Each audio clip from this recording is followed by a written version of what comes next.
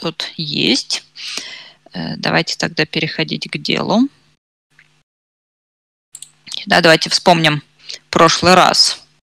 Э, прошлый раз мы с вами да, ввели понятие меры. Кто может сказать, что такое мера? Вот что мы называем мерой?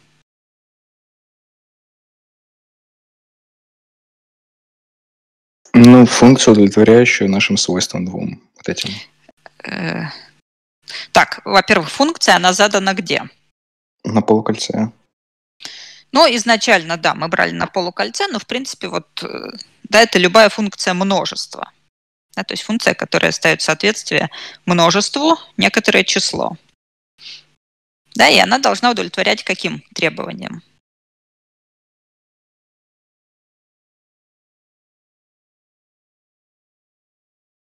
Ну, неотрицательность, ну, и угу. чтобы, чтобы она представлялась, ну, если наше множество разбивается на дизъюнктные подмножества. Объединение. Угу. Да, то там, получается, ну, наша мера от этого множества должна быть равняться сумме множеств. Сумме да, это называется как? А, аддитивность. Аддитивность. О, угу. Да, то есть мера – это не отрицательная, аддитивная функция, заданная на множествах. Э, и дальше мы с вами да, посмотрели несколько примеров, как можно определить, как можно задать меры. Ну, на прямой, да, в основном мы смотрели. Да, можно взять э, да, меру любого промежутка, э, равную длине этого промежутка. Да, это будет мерой. Э, можно взять меру с плотностью, то есть меру промежутка вычислять как интеграл от некоторой функции да, которая называется плотностью. Эта функция должна быть неотрицательной. Э, мы посмотрели меру Лебега Стилтиеса. Да, если задана производящая функция, э, не убывающая непрерывная слева, то мы можем определить меру э, любого промежутка да, от А до Б, и в зависимости от того, включается конечная точка или не включается, да, там по-разному берутся, где-то берется значение функции, где-то предел. Если она непрерывно слева, то да, с левой точки, в левой точке неважно, да, предел равен значению, а в правой точке можно брать либо значение, либо предел справа. Так, э, еще мы посмотрели дискретную меру. В общем-то, это частный случай меры Лебега-Стелтьеса, получается. То есть для дискретной меры можно тоже задать производящую функцию. Да, дискретная мера – это мера, заданная на конечном множестве точек. Ну и это вот вероятностная мера, к которой вы привыкли в теории вероятностей. Так, и дальше мы с вами э, э говорили о продолжении меры с полукольца множеств на минимальное кольцо над этим полукольцом. Да, здесь можно аналогии проводить, если в качестве полукольца брать множество прямоугольников на плоскости, да, то минимальное кольцо над этим множеством это будет э, какое множество?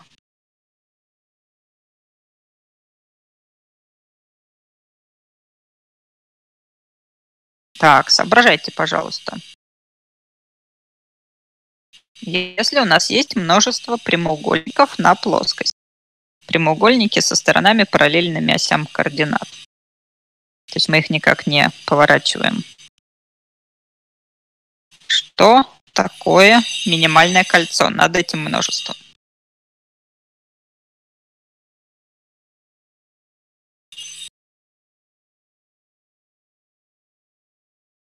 Меня слышно? Так, меня не слышно? Да, слышно. А, слышно. Ну, просто все конечные объединения. Да, все задумались, поэтому вас было не слышно. Э, значит, э, минимальное кольцо это будут всевозможные объединения конечного количества прямоугольников. Да? Как это называется? Какие это множества? Клеточные множества, да. Клеточные или элементарные, и так и так мы их называем. Да, то есть вот минимальное кольцо над множеством прямоугольников – это э, набор клеточных множеств. Да, и вот если мы умеем находить меру прямоугольника, то мы можем э, да, продолжить эту меру на множество клеточных множеств, и мы можем определить меру для любого клеточного множества. Каким образом? Мы представляем клеточное множество как дизъюнктное объединение прямоугольников, то есть объединение не пересекающихся прямоугольников. Меру каждого прямоугольника мы знаем, а дальше мы складываем да, меры всех прямоугольников, их конечное число, и получаем меру клеточного множества. Да, и вот в прошлый раз мы сформулировали и доказали теорему, что всегда э, мы можем продолжить меру с полукольца на минимальное кольцо, и при том единственным образом. Да, и вот это продолжение, оно строится именно так, через аддитивность. И дальше мы доказали теорему, э, которая называется полуаддитивность меры. Да, там два неравенства. В одном случае, если дизъюнтное объединение содержится в множестве А, да, то сумма мер будет меньше либо равна мере множества А. И наоборот, если А содержится в каком-то объединении, то мера множества А не превосходит суммы мер да, вот, э, тех множеств, объединения которых мы взяли. И дальше мы поговорили еще про счетную аддитивность. Что такое счетная аддитивность или сигма-аддитивность?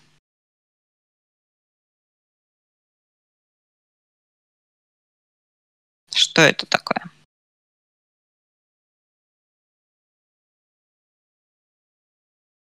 Но у нас теперь операция объединения разрешена для счетного числа множеств.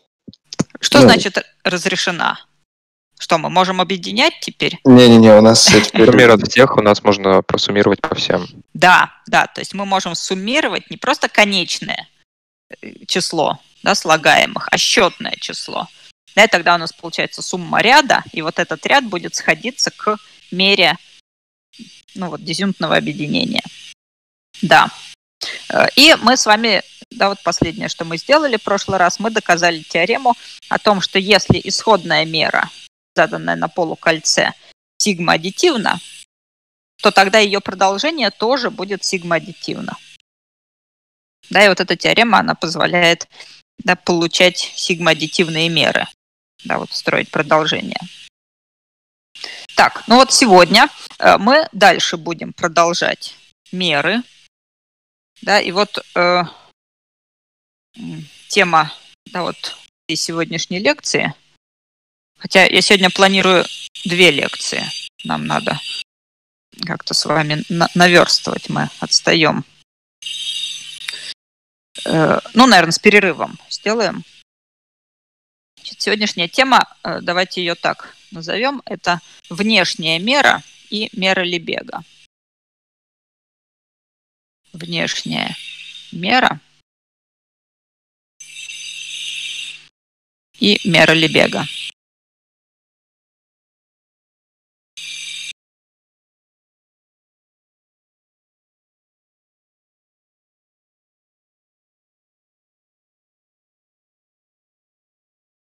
У меня вот звук пропал.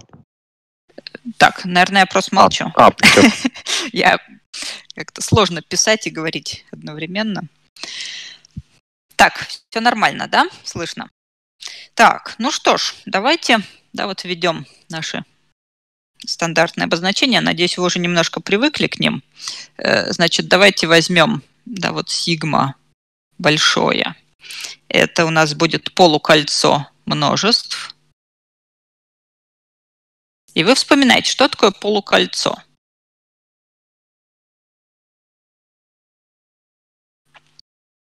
И не просто полукольцо, а полукольцо с единицей. Вот полуалгебра так не говорят, но полукольцо с единицей. Единицу обозначим множеством Е большое. Итак, все вспомнили, что такое полукольцо? Это такая система множеств, в которой что?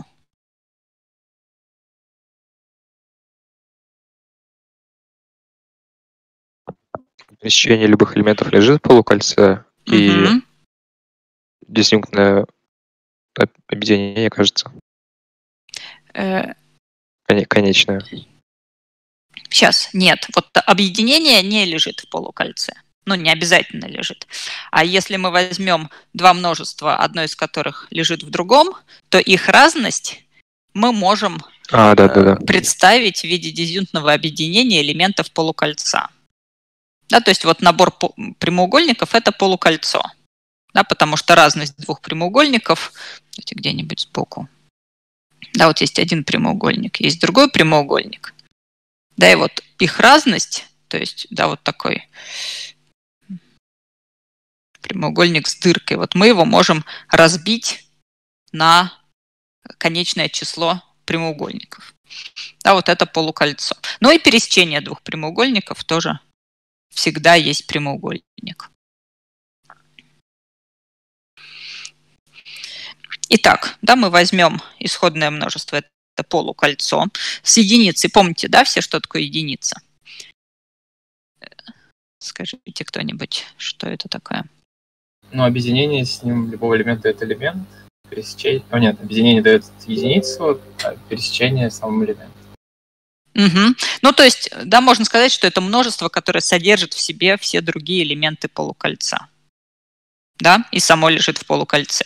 То есть на примере прямоугольников это, ну, какой-то там да, большой прямоугольник, вот в котором мы находимся, да, и за который не выходим, да, вот эта единица.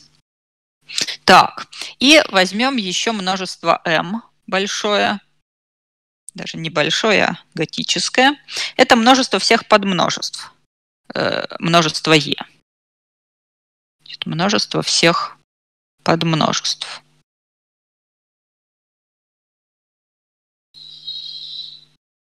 Множество Е. Так, ну определение. Да, вот основное на сегодня. Внешней мерой. Внешней мерой множество А из m называется э, вот такая величина. Будем обозначать ее μ со звездочкой. Это общепринятое обозначение для внешней меры. Это инфимум. Суммы мер b итых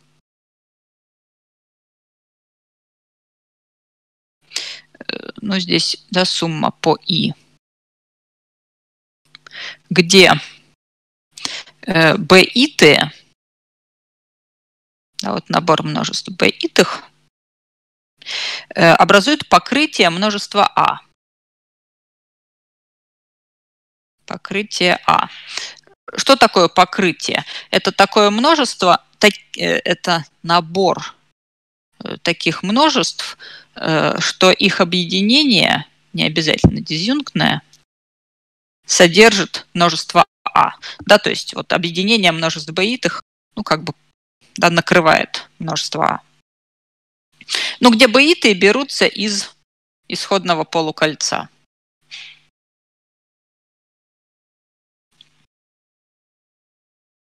Итак, внешней мерой множества А называется точная нижняя грань суммы мер э, множеств, которые образуют покрытие нашего множества А. Ну, давайте какую-нибудь картиночку здесь нарисуем.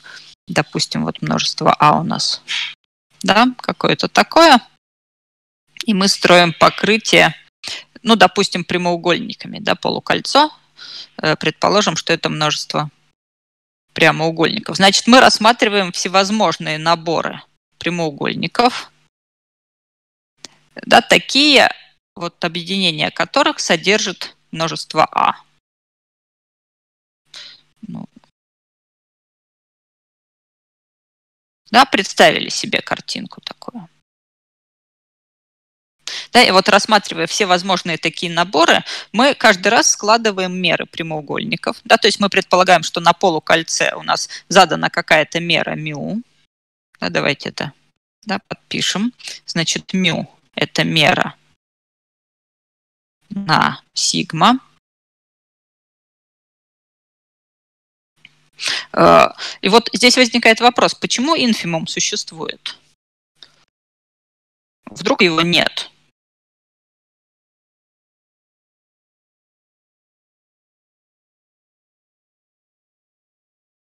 Точная нижняя граница. Вот что достаточно показать, чтобы утверждать, что точная нижняя граница существует? Непрерывность? Ой, нет, слишком круто. Попроще.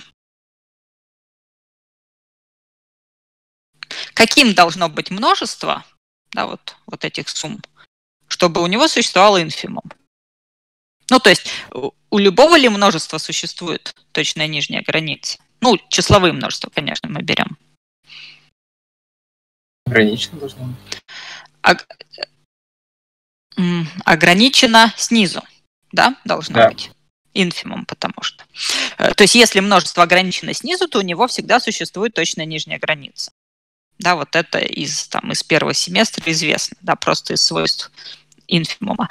Ну, а смотрите, у нас вот это множество, да, это сумма мер. Меры у нас э, не отрицательные. Да? То есть у нас каждая вот эта мера, она не отрицательна. Значит, их сумма тоже не отрицательна. Ну, значит, у нас вот сумма мер, она всегда не отрицательна. То есть это множество, оно всегда ограничено снизу нулем. И значит, инфимум у него существует, ну и самое маленькое возможное значение – это ноль. Да, но важно, что вот это определение корректно. Да, вот этот инфимум, он всегда найдется. Ну и тогда верхней, э, внешней мерой называется вот, да, вот этот инфимум. Так, ну давайте смотреть, какие свойства есть. Итак, свойства внешней меры.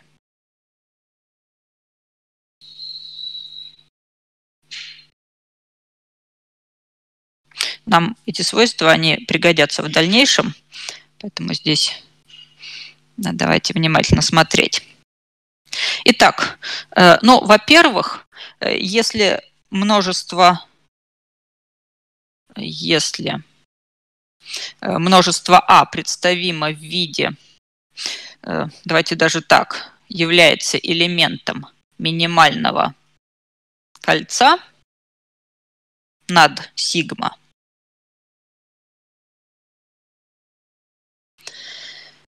чему тогда будет равна внешняя мера множества А?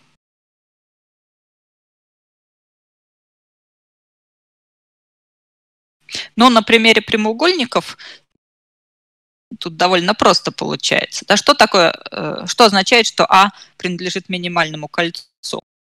Это значит, что А представимо в виде в каком?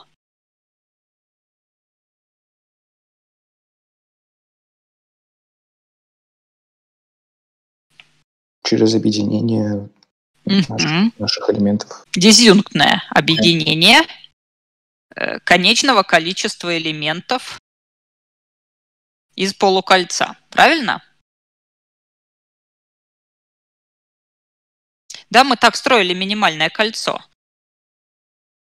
Да, по определению минимальное кольцо – это кольцо, содержащее сигма и лежащее в любом другом кольце, содержащем сигма. Да, дальше у нас была теорема о том, что минимальное кольцо можно строить вот таким образом. Да, брать всевозможные дизъюнтные объединения элементов полукольца.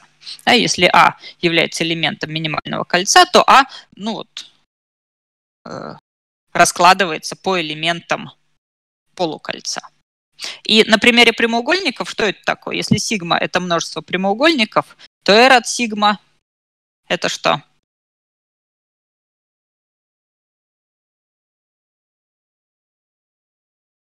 Ну, все объединения, получается. Этих ну, как это называется? Какие там множества? Уже вспоминали сегодня. Клеточное множество. Клеточные множества, да. Ну так что можно сказать про меру клеточного множества? Мы ее умеем считать, правда? Слушайте, если я вам нарисую какое-нибудь клеточное множество по клеточкам, вы же найдете площадь, правда? Потому что вы умеете площадь прямоугольников считать. Так, это непонятно сейчас? Понятно. Понятно, понятно. Так, понятно. Ну так э, чему тогда равна мера множества А? Э, ну, давайте тогда внешнюю меру мы ищем. Э, что такое внешняя мера? Да, это инфимум по всем покрытиям. Ну так если само множество А вот такое, да, то оно является своим покрытием. Да, множество А ну, входит да, само в себя. И тогда у нас просто получается э, сумма мер баитах, правильно? Ну, то есть инфимум совпадает просто вот с этой суммой. Ну, а это то же самое, что продолжение меры с полукольца сигма на минимальное кольцо. То, что мы в прошлый раз обозначали мю-штрих.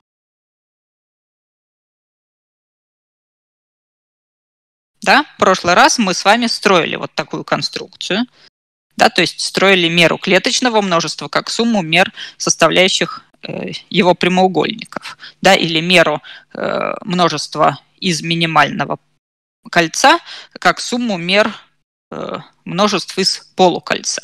Да, и тогда получается, что если А является множеством из минимального кольца над сигма, то внешняя мера просто совпадает вот с продолжением меры полукольца на кольцо. Ну или просто совпадает с мерой множества ада, которую мы уже считать умеем. То есть для хороших множеств внешняя мера совпадает да, вот с обычной мерой. Ребят, это понятно?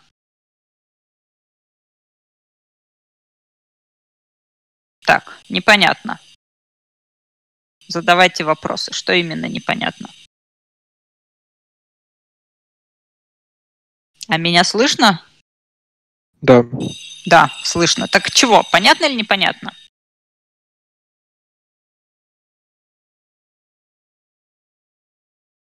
Так, э, я это связываю с тем, что э, как-то прошлая лекция забылась.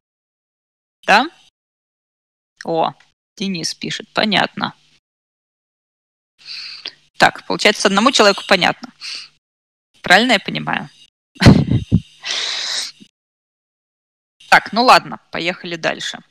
Э, может, мы еще раз к этому вернемся, еще раз будем проговаривать. Так, значит, какие еще у нас свойства?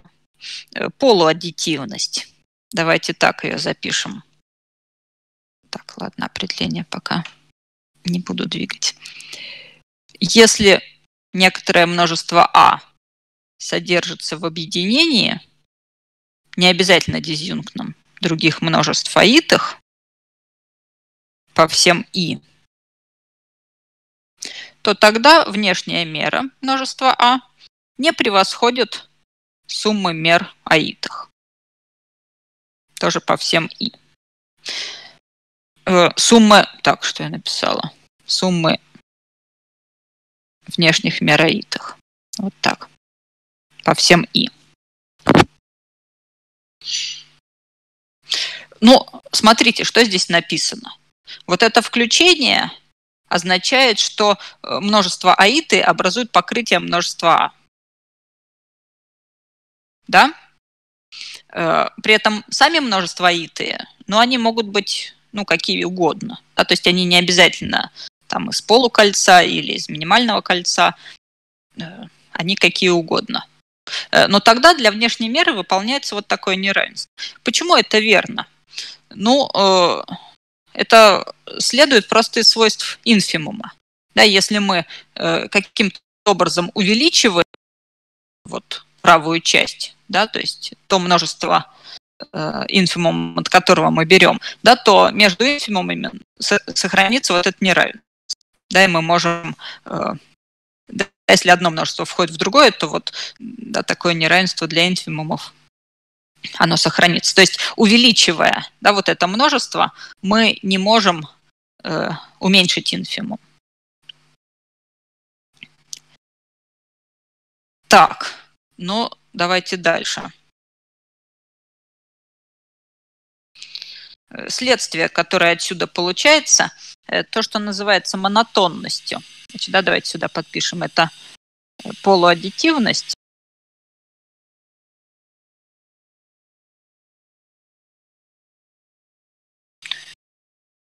Так, и третье свойство, так называемая монотонность. Если я вот здесь в качестве аид их возьму какое-то одно множество, назовем его b, то есть если а содержится в множестве b, то тогда внешняя мера множества а не превосходит внешние меры множества b. Да, вот это называется монотонностью меры.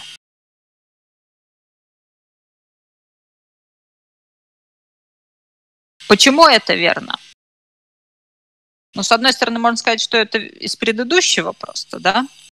То есть здесь вот да, сумма из одного слагаемого. Ну, а можно и по смыслу понять. Если у нас множество А содержится в множестве b, то любое покрытие множества b будет являться также и покрытием множества А.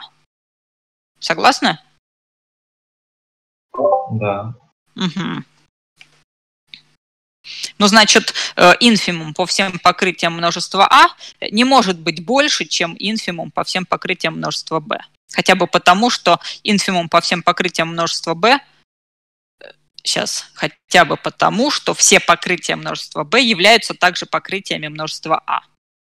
Да, другое дело, что, может быть, там есть какие-то покрытия да, с меньшей вот этой суммой.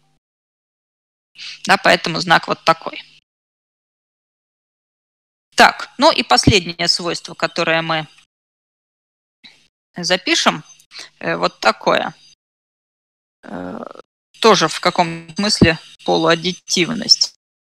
Внешняя мера объединения двух множеств не превосходит суммы внешних мер. Что-то у меня интернет отвалился, но сейчас вроде нормально. Так, э, ну вот такие свойства, да. Э, значит, все они, получается, следуют из, ну вот из определения внешней меры – да, что это инфимум суммы по всем покрытиям и из свойств инфимума. Э, и вот обратите здесь внимание на то, что вот эти покрытия, они берутся всевозможные. То есть они могут быть конечные, они могут быть счетные. Э, и вот, да, это нам сейчас не важно. Да, важно, что, да, что мы берем инфимум от суммы мер вот всех множеств. Э, так. Э, ну, дальше мы тогда можем сказать главное определение. Да, второе главное определение.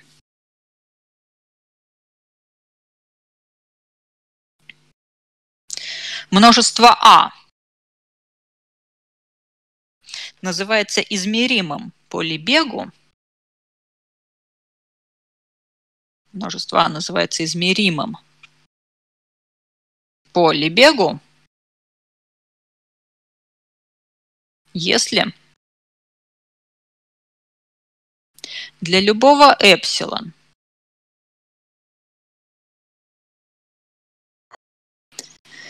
Так, ну давайте потихонечку продолжать. Значит, вот мы с вами ввели понятие внешней меры – да, э, что здесь важно? Здесь важно, что вот внешнюю меру мы можем э, определить для любого множества. Неважно, оно там в полукольце, в кольце или вообще оно какое-то страшное, непонятное. Да, вот внешняя мера для него всегда определяется. Да, мы его покрываем или накрываем, наверное, правильно говорить, вот всевозможными покрытиями, да, и считаем инфимум вот суммы да, элементов покрытия. Да, и этот инфимум, он всегда существует. Э, так, теперь у меня не двигается. Что ж такое? А. а у нас движется курсор. Нет, у меня... А, вот. Доска не движется. Эти в одной аудитории на Ломоносова есть доска меловая, такая. Но она вроде не старая, но она огромная, тяжеленная, и она поднимается наверх, а под ней еще одна доска. Вот чтобы ее поднять, там нужны очень большие физические усилия. Прям вот она тяжело поднимается. Она, кажется, консультация была. Вот, может быть, да. В общем, у меня ностальгия по аудиториям. не знаю, как у вас, но мне очень хочется уже писать на настоящей доске. Вот, и смотреть в глаза всем студентам. Так, ну ладно. Значит, вот внешнюю меру мы определили. Да, и теперь э, мы назовем множество А измеримым по Лебегу, если для любого эпсилон большего нуля э, найдется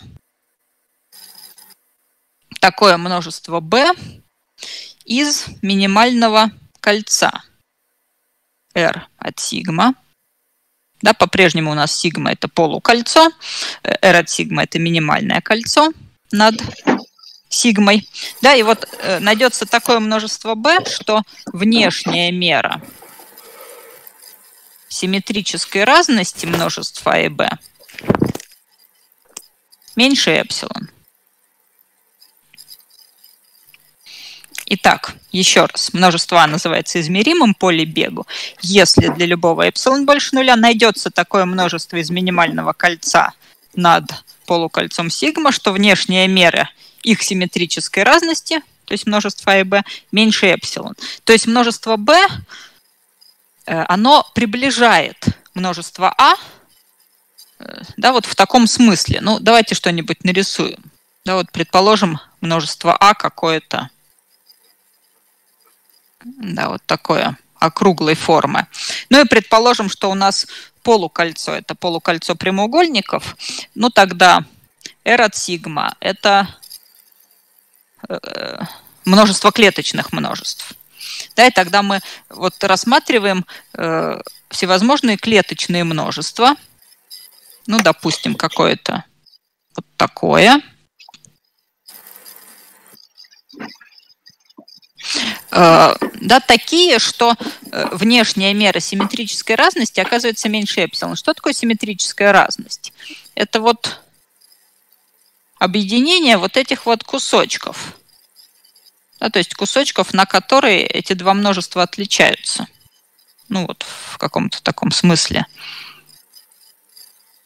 Да, не очень строгом. Да, ну вот зеленым сейчас закрашена симметрическая разность. И вот она, э, ее внешняя мера должна быть меньше эпсилон. То есть она в каком-то смысле должна быть маленькой. Да, и вот если э, мы можем вот эту симметрическую разность сделать сколь угодно маленькой, э, выбирая множество b из минимального кольца, то тогда множество а называется измеримым по Лебегу.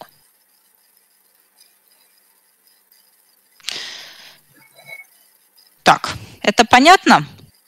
Да, понятно. Ну и сюда же в продолжение к этому определению тогда мы можем определить саму меру Лебега.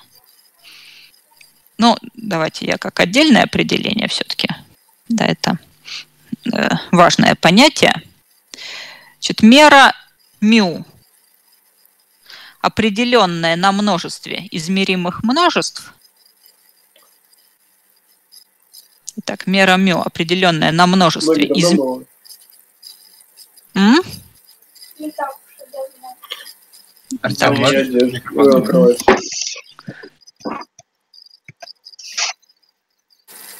Итак, мера мю, определенная на множестве измеримых на поле бегу множеств и совпадающая с внешней мерой,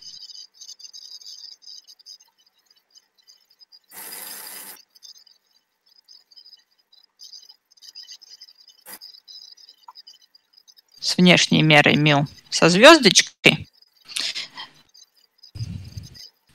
называется Лебеговым продолжением меры μ, называется Лебеговым продолжением.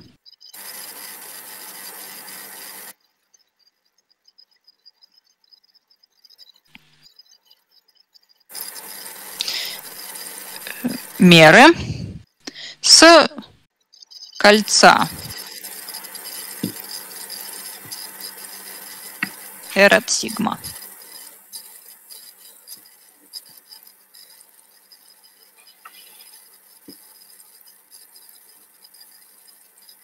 Итак, еще раз.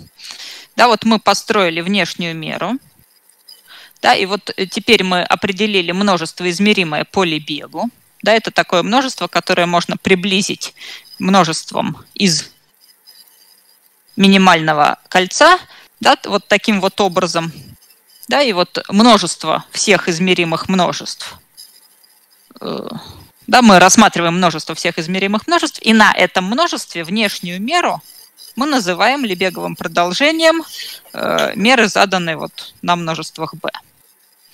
Ну и часто эту меру называют просто мерой Лебега. Так, вот вдумайтесь, пожалуйста, и скажите, понятно ли это.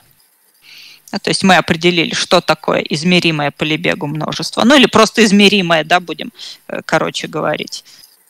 Да, и теперь на всех измеримых множествах мы задаем вот эту внешнюю меру и называем ее просто мерой. То есть звездочку э, для измеримых множеств мы теперь можем опустить и называть это просто мерой μ.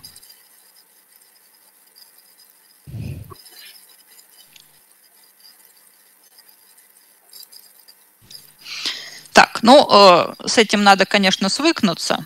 Да, давайте сейчас э, свойства измеримых множеств обсудим.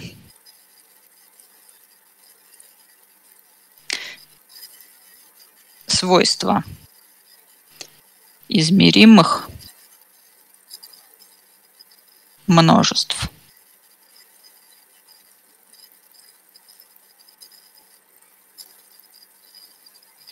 Ну, и эти свойства нам в дальнейшем понадобятся, чтобы свойства меры устанавливать. Так, ну, во-первых... Так, во-первых, если... Там что-то у кого-то звуки какие-то. Ребят, микрофон выключите.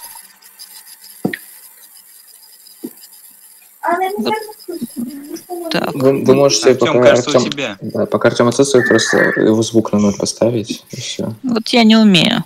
Ну, так, значит... Э, а вот мыши пользователю и двигайте по. А, во, громкость. Так, это не тот оказался. Главное потом обратно включить.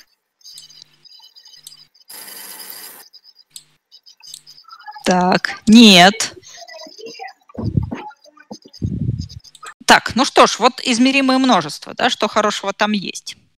Э, ну, во-первых, вот такое простенькое свойство. Если внешняя мера множества А равна нулю,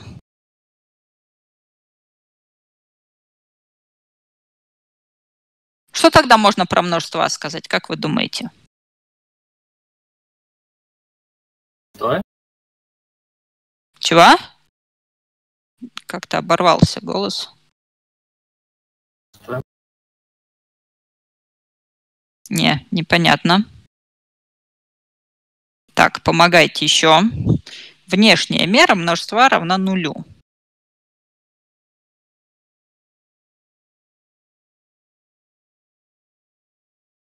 То а какое? Ну, пустое. Нет, нет, нет, нет, это слишком, слишком сильно. Так, у нас свойства измеримых множеств, да? Ну, это, конечно, не совсем свойство, да, это скорее признак, но ладно уж. Это объединение пустых, не знаю. Не, ну объединение пустых тоже пусто. Будет ли А измеримым?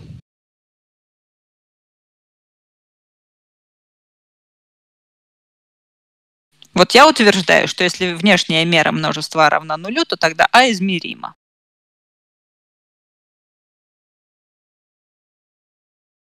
Обратите внимание, в определении измеримого множества у нас внешняя мера берется не от множества А, да, а от э, симметрической разности с каким-то множеством b. Да, а вот здесь утверждается, что если внешняя мера самого множества А равна нулю, то тогда А измеримо. Ну, а раз А измеримо, то тогда его внешняя мера – это просто его мера да, и тогда отсюда еще следует, что вот сама мера множества А равна нулю. То есть это множество нулевой меры, оно не обязательно само пустое, да, у него просто мера ноль. Ну, как, например, мера, да, там, э, на R э, мера э, отрезка, состоящего из одной точки. Да, вот длина такого отрезка 0. Ну, хотя это не пустое множество, в нем есть одна точка. Так, ну давайте докажем.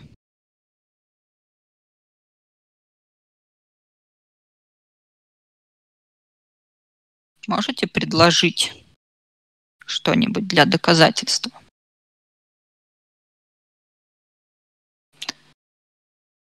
Нам что? Нам нужно доказать, что А измеримо. Да? Так, меня слышно сейчас? Что-то все молчат. Да, слышно, слышно. Угу. Итак, нам нужно доказать, что А измеримо. Да, вот у нас определение еще осталось. Э, да, это значит, что найдется такое множество b из минимального кольца, да, то есть хорошее множество b. Вот, вот такое, такое, что внешняя мера их симметрической разности меньше эпсилон.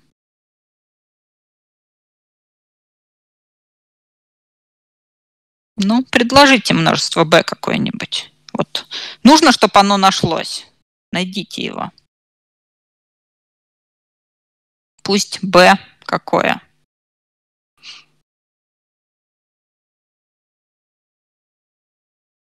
О, Денис. b пустое. Спасибо. Давайте возьмем в качестве множества b пустое множество. Видите, даже без микрофона можно можно говорить умные вещи. Итак, давайте возьмем в качестве множества b пустое множество. Да, тогда вот мы берем э, внешнюю меру вот такой симметрической разности. Да, что такое симметрическая разность с пустым множеством? Что получится в скобках? Само множество. Само множество, конечно. Конечно, пустое множество нам дает симметрическую разность, равную самому множеству А. Ну, а внешняя мера по условию равна нулю, ноль всегда меньше эпсилон. Да, просто потому что эпсилон положительное. Ну вот, пожалуйста, нашлось такое множество b. Конечно, пустое множество всегда принадлежит да, минимальному кольцу. Э, ну и все. Да, отсюда следует, что А измеримо. Ну, а значит и мера его равна нулю. Так, хорошо.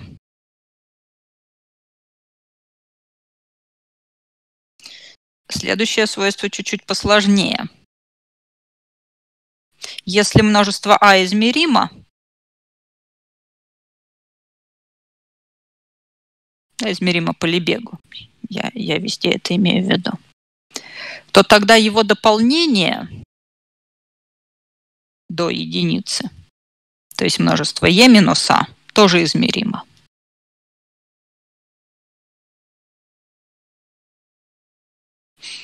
Итак, если множество а измеримо, то его дополнение до единицы тоже измеримо. Так, ну давайте будем доказывать. Да, вот мы знаем, что множество А измеримо, то есть существует такое множество b да, из минимального кольца над сигмой. Да, такое, что внешняя мера множества А симметрическая разность b меньше эпсилон. Так, ну, как вы думаете, какое множество надо взять э, для множества e минус а?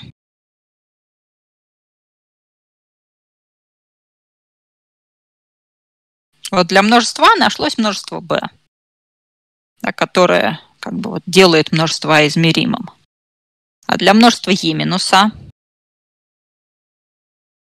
Дополнение b.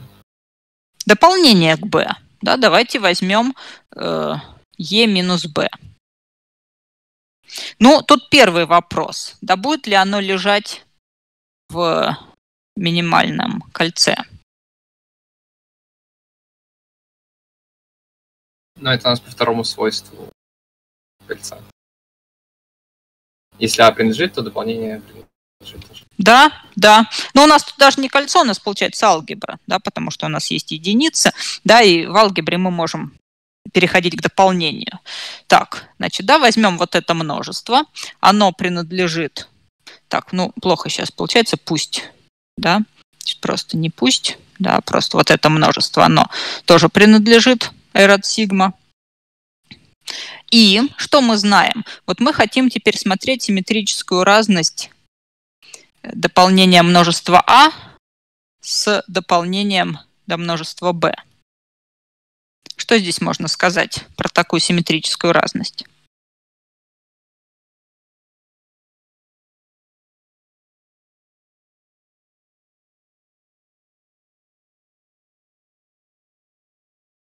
Ну вот, если это попытаться упростить, да, здесь у нас три действия. Так, это симметрическая разность? Вот так, да? Это симметрическая да. разность множества и b. Ну вот такое, такое свойство мы писали когда-то в самом начале, когда вот просто про симметрическую разность говорили. Вот это верно. Да? То есть симметрическая разность дополнений равна симметрической разности самих множеств. Ну и тогда, если мы знаем вот э, внешнюю меру до этого множества, то она получается такая же, как и этого. Да, и тогда отсюда следует, что множество e минус а измеримо. То есть это просто свойство симметрической разности и э, то, что мы можем переходить к дополнению в минимальном кольце. Это вроде тоже получилось не очень сложно. Так, а вот следующее свойство уже будет э, сложнее. Если два множества, я их назову А1 и А2, измеримы,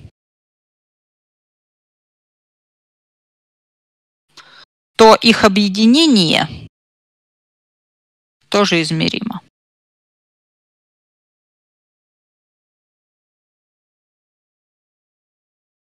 Итак, объединение двух измеримых множеств измеримо по Лебегу. Так, и вот это давайте будем доказывать. Ну, начнем с того, что запишем определение да, того, что А1 и А2 измеримы. Это значит, что найдутся да, такие два множества B1 и B2 из R от сигма. Да, такие, что внешняя мера симметрической разности А1, B1 меньше, чем эпсилон, но я возьму здесь эпсилон пополам. А так будет удобнее. И второе такое же неравенство. Внешняя мера А2 и B2. Тоже меньше, чем эпсилон пополам. Э, так, и теперь я напишу вот такое утверждение. Вот в конспекте оно у меня доказано. Значит, да, утверждение. Но сейчас я, наверное, не буду это доказывать. Здесь просто да, работа со множествами. Значит, вот такое. Объединение множеств А1, А2 и взятая симметрическая разность с объединением множеств B1, B2. Значит, вот такое множество содержится в объединении симметрических разностей А1, B1 и А2 и B2.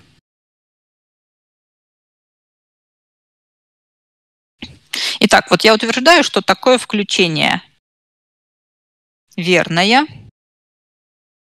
О, я тут опечатку заметила у меня.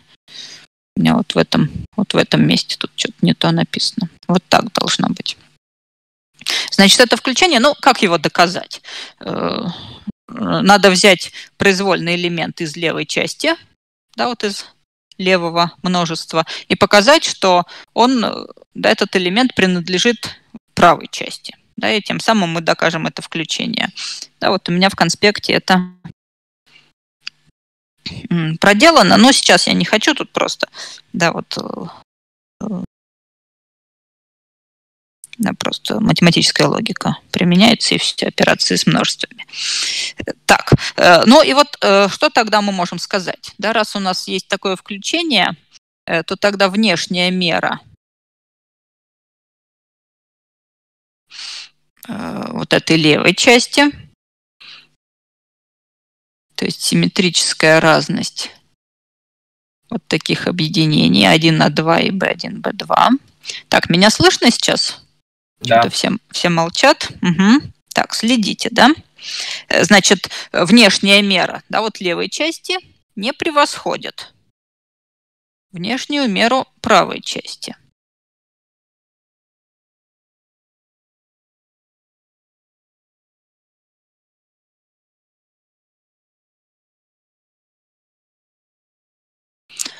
Так, ну а здесь у нас получается внешняя мера объединения да, она в свою очередь не превосходит чего?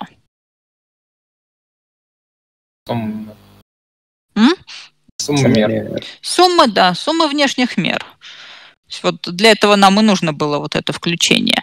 Значит, это внешняя мера вот такой симметрической разности плюс внешняя мера второй симметрической разности. Ну, а каждый из них меньше, чем эпсилон пополам. Да, по построению вот этих множеств b1, b2. Так, ну смотрите, что получается. Для любого эпсилон больше нуля найдутся два таких множества b1, b2 из кольца да, такие, что вот они приближают множество 1 на 2.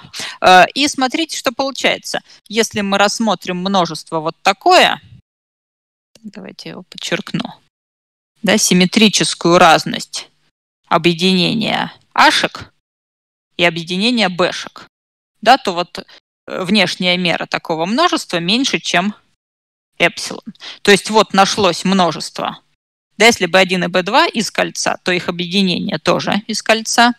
Да, вот здесь важно, что э, объединение B1, B2 лежит в R от сигма.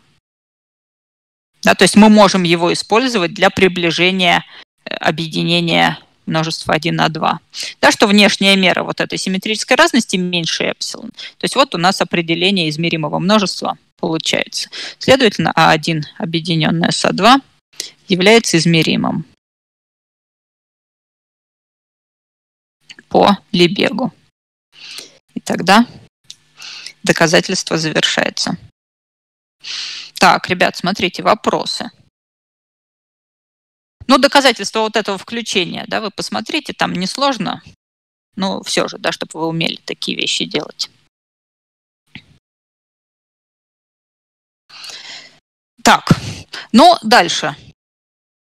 Э, дальше вот еще, э, да, можно сказать, следствие э, из этого свойства такое. Если А1 и А2 измеримы, то тогда будут измеримыми и их пересечение, разность, и симметрическая разность.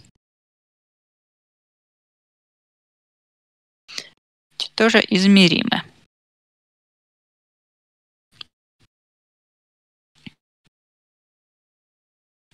Итак, пересечение, разность, симметрическая разность измеримых множеств э, тоже дают измеримое множество. Но для доказательства здесь э, мы будем пользоваться двумя предыдущими свойствами, то есть объединением – и что там у нас было? Дополнение, да? Э, ну и тогда нам нужно да, вот эти действия со множествами выразить через объединение и дополнение. Но с пересечением, наверное, вы умеете делать. Как выразить пересечение?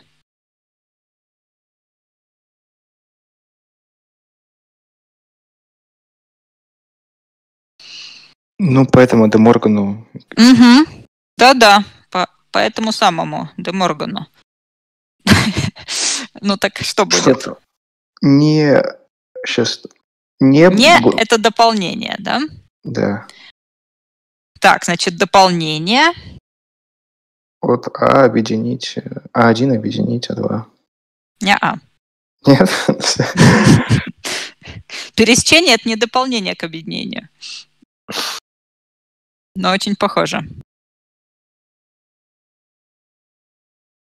Объединение тоже дополнение, да, наверное? Да, да, надо э, объединять дополнение. То есть дополнение множества 1 объединить с дополнением множества 2 и взять ко всему этому дополнение.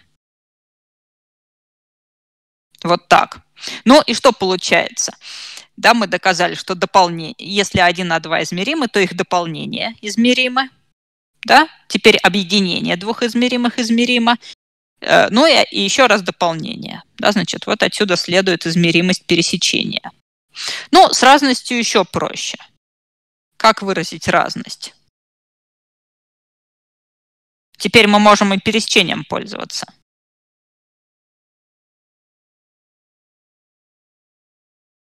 Объединение минус пересечение. Объединение. Да. Так, 1 на 2. Минус пересечение. Например, сейчас. Нет, это симметрическая разность. Да? Для симметрической разности это верно. Хорошо, ну а просто для разности очень хочется. Ну, просто А1 минус пересечение. Сейчас, минус нельзя. Симметрическая разность пересечения. Да. А, Нет. Да, да, Алик, правильно. Чего? Ну, Как? здесь можно треугольник поставить и пере- пересечение. Нет? Так.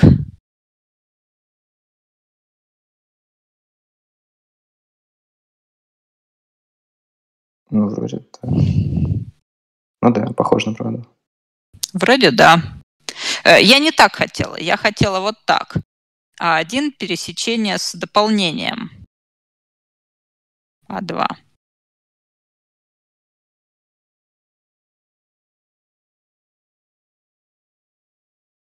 Но это вроде то же самое, да?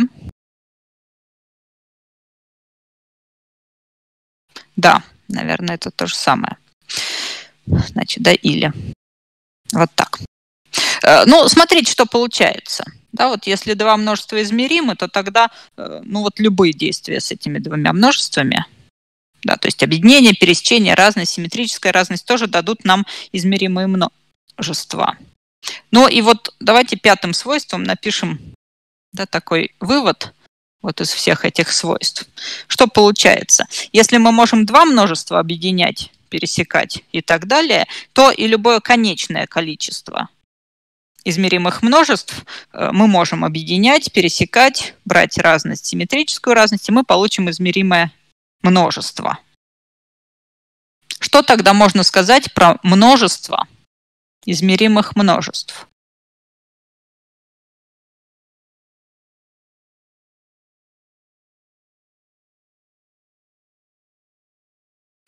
Если в нем содержится да, конечное объединение, конечные пересечения.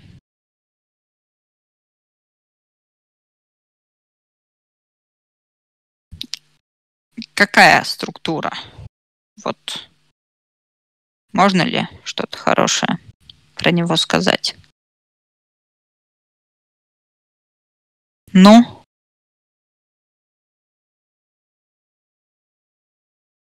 Эй-эй. Так, меня слышно? Вы все задумались, да? является кольцом. Да, является кольцом. Множество измеримых множеств – это кольцо множеств. Можно ли лучше сказать? Что может быть лучше кольца? Алгебра. Алгебра. Является ли оно алгеброй? Но это вопрос, есть в нем единицы или нет. Если вот вернуться к самому началу, да, мы с вами говорили, что у нас вот самое исходное полукольцо, которое мы брали, да, это полукольцо с единицей. То есть мы с самого начала предполагали, что у нас есть единица. Но так вот эта единица, она по-прежнему у нас есть. Мы от нее еще не отказывались. Тогда да, тогда алгебра. Да, тогда алгебра. Да, значит, э, это кольцо множеств, и это, и это алгебра множеств. То есть множество измеримых множеств по Лебегу является алгеброй. На самом деле мы могли бы изначально отказаться от наличия единицы. Да, мы могли бы э, строить да, тогда внешнюю меру. Э, ну, э, что бы у нас получилось? Алгебра уже не получилось. Да, тогда бы это было уже... Э, но мы могли бы получить так, чтобы мы могли. Дельта-кольцо мы бы могли получить, да, то есть с счетными пересечениями, но с, с несчетными объединениями, с конечными объединениями. Да, ну вот сейчас, да, мы как бы предполагаем, что единица есть, и тогда это алгебра. Так, э, ну вот э, дальше мы с вами будем Э, смотреть свойства меры Лебега, заданной на вот этих измеримых множествах.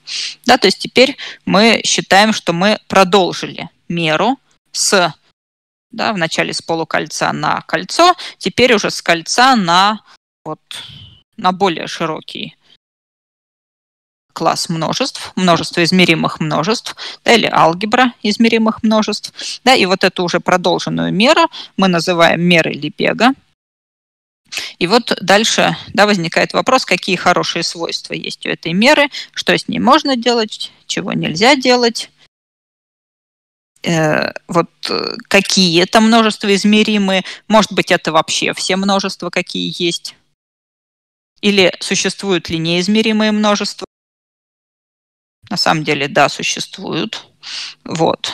И вот э, сегодня очень хочется еще про это поговорить. Так, живы? Нормально? Можете соображать? Да, да. Угу. Хорошо. Так, ну тогда вот, да, заголовок. Э, давайте такой. Аддитивность. Аддитивность меры Лебега.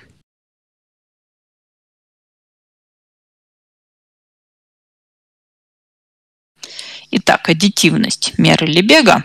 Ну, сюда я включаю да, конечную аддитивность и счетную аддитивность. Да, вот мы сейчас и ту, и другую будем доказывать. Э, то есть можно ли, если у меня есть два измеримых множества, не пересекающихся, можно ли считать меру их объединения как сумму их мер? Да, вот это вопрос. Вопрос непростой. Ну, а дальше вопрос, а если, а если вдруг можно, да, то тогда отсюда следует, что и для конечного числа множество это можно. И возникает вопрос, а можно ли для счетного числа? То есть есть ли сигма-аддитивность у таким образом построенной меры Лебега? Да, она тоже есть, да, и вот сегодня я хочу с вами доказать и конечную аддитивность, и счетную. Ну и вначале давайте сформулируем маленькую лемму, которая нам сильно поможет. Э, лемма вот такая. Для любых двух множеств А и Б э, верно вот такое неравенство. Модуль разности внешних мер. Вот я даже не говорю, что А и Б измеримые, они вообще любые. Модуль разности внешних мер не превосходит внешней меры симметрической разности.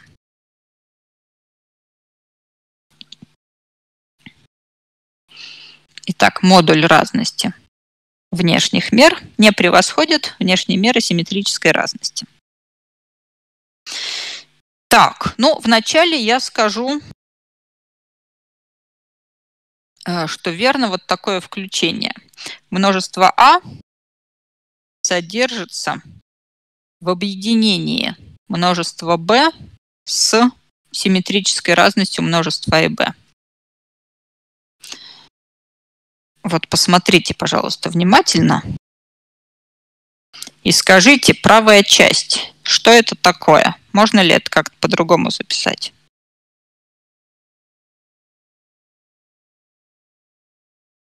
Что такое множество b и симметрическая разность множества и b? У меня два множества А и Б.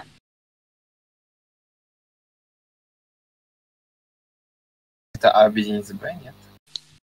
Да, совершенно верно. Симметрическая разность. Это вот, да, вот эти части. Но если мы теперь объединяем одно из множеств симметрической разностью, ну, это значит, мы добавляем вот их пересечение. Да, и это получается, что то же самое, что объединение. Да, вот когда объединение множества А и Б, то тут понятно, что множество А в него входит. Да? Ну а вот в эту конструкцию как бы не очень очевидно. Но нам важно вот это.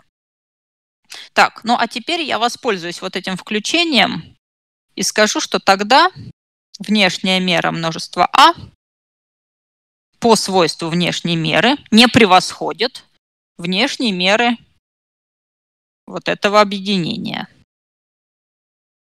Да, это называется монотонность внешней меры. Если одно множество содержится в другом, то мера первого не превосходит меры второго. Да, согласны? Как да. вы думаете? Угу. Как вы думаете, чем теперь мы воспользуемся? Ну что у нас мера объединения меньше суммы. Да, да. Полуаддитивность внешней меры. Мера объединения не превосходит сумму мер. Ну, здесь внешние меры, да. Так, Значит, вот это мы можем записать. вот смотрите, у нас появилась э, внешняя мера симметрической разности. Ну и отсюда давайте сделаем такой вывод. Перенесем э, внешнюю меру множества b налево, да, и у нас тогда разность вот такая. Внешняя мера а минус внешняя мера b не превосходит внешние меры их симметрической разности. Ну вот мы сейчас доказали ровно половину от того, что нам нужно. Да, у нас был модуль. Э, вот мы доказали такое неравенство э, без модуля. Как нам вторую половину доказать? Да, вот это первый шаг был.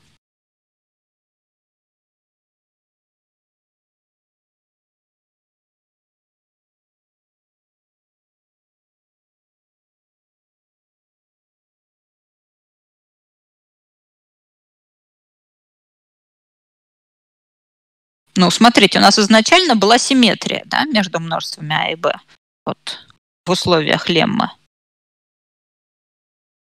И мы получили вот такое неравенство без модуля. То есть у нас множество А стоит первым, множество Б вторым.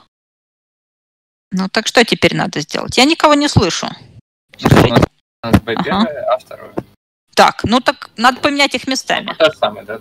Да, то есть сделать то же самое, только теперь взять множество b как э, э, содержащееся в вот в таком объединении. Да, вот это тоже верно, это то же самое объединение множества А и Б. Да, и тогда что получается? Тогда внешняя мера множества b не превосходит, ну давайте сразу распишем. Да, внешние меры множества А плюс внешняя мера их симметрической разности. Да, и отсюда тогда следует, что вот разность внешней меры b минус внешняя мера а не превосходит внешние меры их симметрической разности. То есть вот мы доказали два неравенства, да, и пара этих неравенств э, дает нам неравенство с модулем. Я уже не буду его переписывать, оно в условии леммы написано. Так, все нормально. Согласны? Да, да. Угу, хорошо. Ну вот такая маленькая лемка, она позволяет вот от обычной разности, да, числовой, перейти к симметрической разности множеств. Ну, правда, перейти вот в одну сторону. Да, здесь неравенство. Так, хорошо. Тогда теорема. Мы сегодня очень долго без теорем жили. Правда, там у нас свойства были, да, важные и сложные. Но вот э, теперь сформулируем теорему. Будем ее называть э, так. Конечная аддитивность меры Лебега. Конечная аддитивность меры Лебега.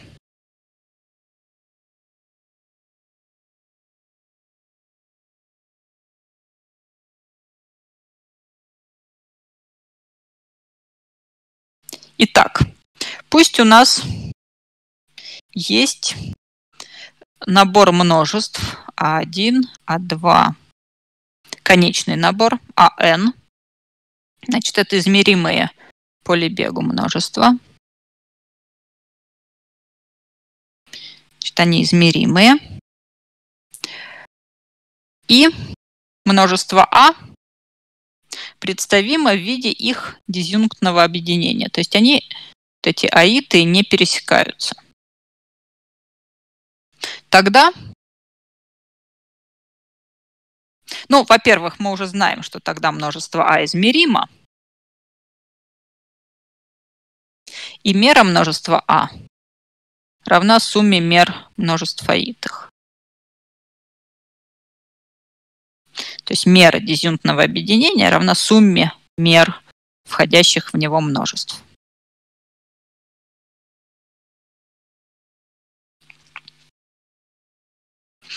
Так, формулировка понятна? Меня слышно? Да, понятно. Ага, хорошо. Я просто боюсь, что я перестаю вас слышать. Вот вы как-то почаще там дакайте, пожалуйста. Хорошо. Ага. Э, так, ну что, давайте доказывать. Значит, э, утверждение для n множеств, оно будет следовать э, из утверждения для двух множеств. Да, поэтому давайте вначале докажем для двух множеств. Значит, да, пусть у нас множество А1 и А2 измеримы. Ну и тогда да, для любого эпсилон большего нуля найдутся множество b1, b2. Да, я сейчас определение измеримого множества э, воспроизвожу. Значит, вот эти множества из кольца. Давайте просто писать r. Да, понятно, да, что вот это минимальное кольцо над сигма. Ну, а можно, в принципе, определять э, э, вот, продолжение меры вот просто с какого-то кольца. Да, мы просто берем B1, B2 из него, и все. И мы можем как бы не спускаться дальше к полукольцу. Ну, то есть R это кольцо. Э, так, ну и верны следующие э, два неравенства. Внешняя мера вот такой симметрической разности, меньше эпсилон. И то же самое для второй пары множеств.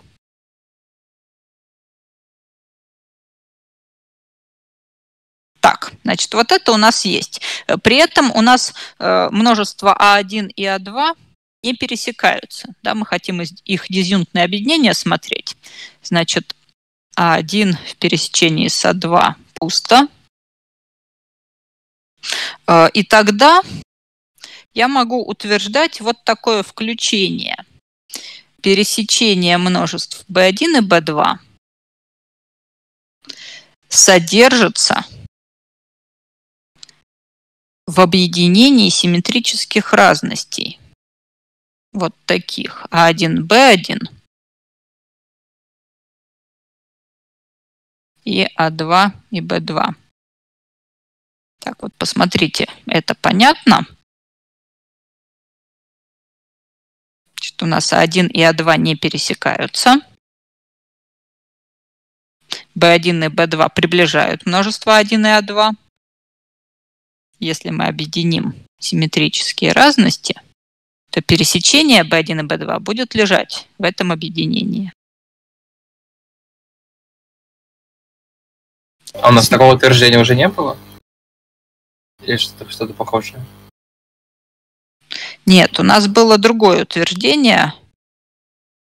Там мы брали, вот здесь мы брали другое, здесь мы брали э, симметрическую разность объединений А1А2 а, да, и B1B2. Да, а вот здесь в чем смысл? Э, здесь у нас, да, если элемент лежит вот в этом пересечении, значит, он лежит и в B1, и в B2. Да? Да. И это значит, что он попадет... Э, это значит, что он вот здесь попадет куда? Да, вот в это множество или вот в это множество. Правильно?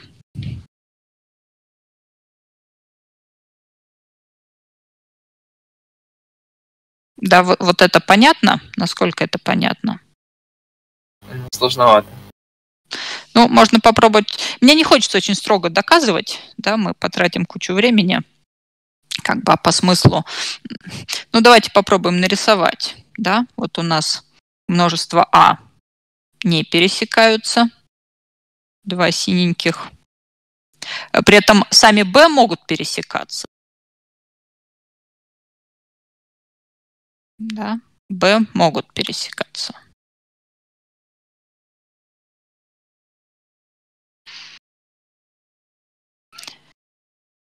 Так, и вот представьте теперь, да, вот это пересечение бэшек. И у нас есть объединение симметрических разностей, то есть объединение вот тех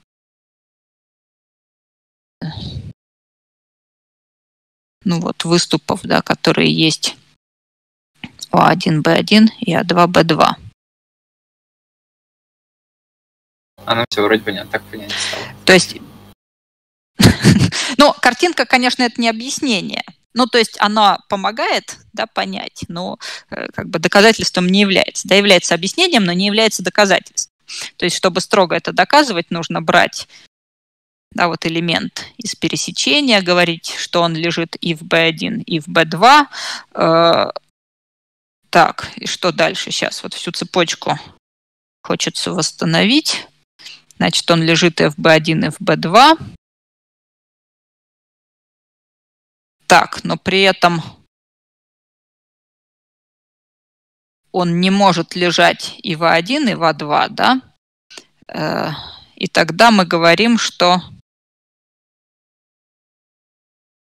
он попадет хотя бы в одно вот из этих двух множеств.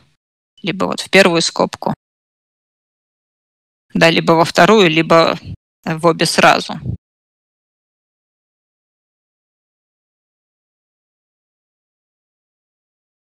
Да, это правильно?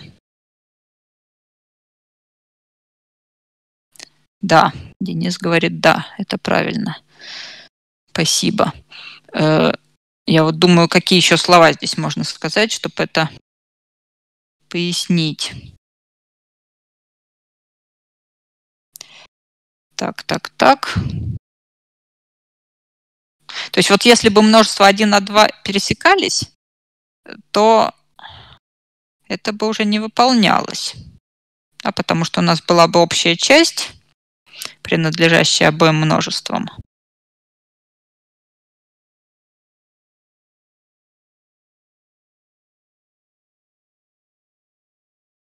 И мы уже не могли утверждать вот это включение. У нас были бы точки, которые которые могут вот сюда не попасть. Так, ну что, нормально? Надо это как-то еще пояснить. Ну, я могу вам посоветовать здесь вот несколько картинок нарисовать, да, вот каких-то. Ну, самая легкая картинка здесь, когда B1, B2 не пересекаются. Да, то есть тут пустое множество получается для него, это верно. Да, когда они пересекаются, да, вот там какими частями они пересекаются. Вот, на, наверное, несколько картинок, и да, станет, станет понятно. Как вы думаете, как дальше пользоваться вот этим включением? Вот что дальше?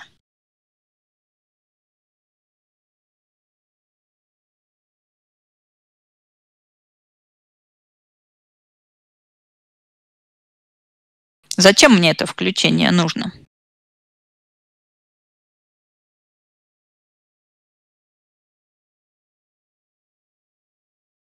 Внешняя мера тогда у нас пересечение меньше, чем... Меньше... Да, давайте теперь да, возьмем внешнюю меру от одной части от другой. Да, вот мы все включения как бы обрабатываем одинаково. Мы берем внешнюю меру. Значит, внешняя мера левой части не превосходит внешнюю меру правой части.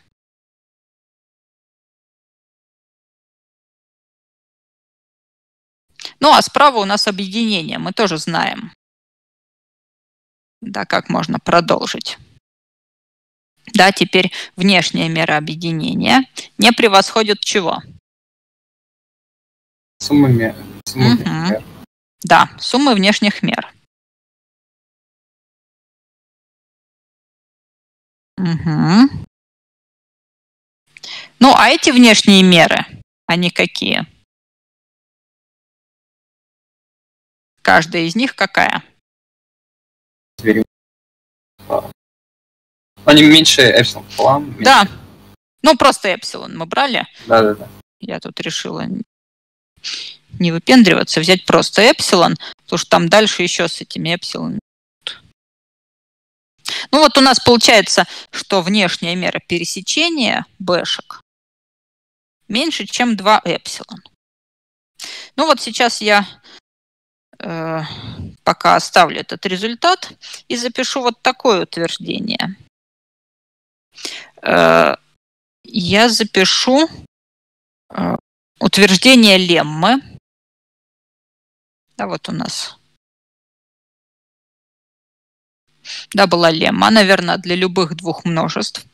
Я запишу, э, возьму в качестве множеств, соответственно, А1, Б1 и А2, Б2. Да, давайте вот это запишем. Сюда по лемме. У меня получается вот так. Внешняя мера А1 минус внешняя мера B1. Но при этом B1 да, это у меня множество из кольца, и для него внешняя мера совпадает да, просто с мерой. Поэтому звездочку я могу не ставить. Да, то есть для него э, внешняя мера и просто мера как множество из кольца это одно и то же. Так, и здесь я тогда могу писать, что это не превосходит внешние меры их симметрической разности, которая меньше эпсилон. И второе такое же неравенство для множеств А2 и Б2.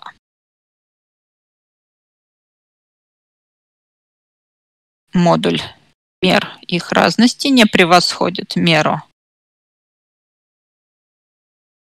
их симметрической разности, и это меньше эпсилон.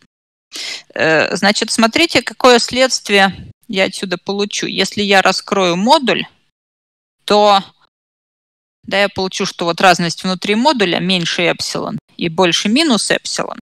И я возьму вот левую часть, э, значит, вот эта разность больше сейчас, или правую часть. Я хочу сейчас оценить меру э, множества b1, чтобы она оказалась больше. Так, тогда я возьму меньше. Да, вот так. И тогда мера b, так, это b1. Тогда мера множества b1 окажется больше, чем внешняя мера a1 плюс эпсилон. Нет, минус эпсилон. Смотрите внимательно. Согласны? И второе такое же неравенство.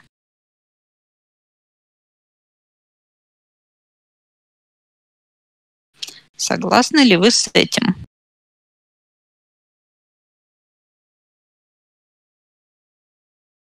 Да. Да, согласны. Да, то есть вот эти два неравенства, они следуют из неравенств, э, которые из леммы получаются. Да, если модуль раскрыть вот с одним знаком. Так, э, значит, да, вот еще два полезных неравенства. Так, и теперь давайте рассмотрим меру объединения множеств b1 и b2. Вот смотрите, я опять пишу просто мю без звездочки, да, потому что b1 и b2 это у нас множество из кольца. Да, на кольце мера задана. И это просто мера э, без звездочки. Это не внешняя мера, а обычная мера. Она совпадает с внешней, да, потому что объединение тоже лежит в кольце. Значит, как я могу записать?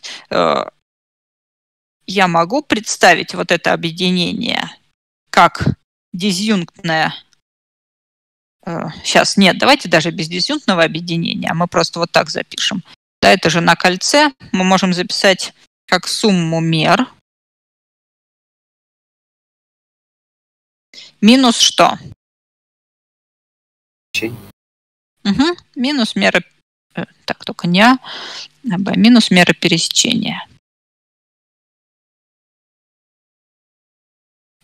Так, э, и вот теперь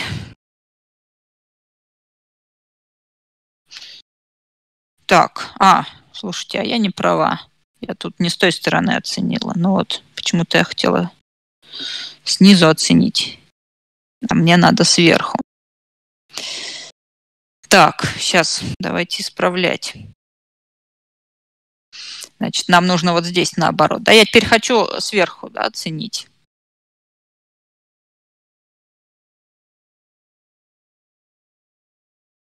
Так, ну тогда э, я могу вот так сделать, да, вот здесь поменять знак. Или, ну или вот здесь, да, больше минус эпсилон. Так. Да, и тогда вот здесь будет знак меньше. Так.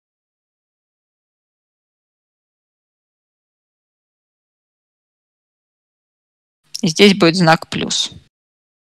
Смотрите внимательно. Согласны?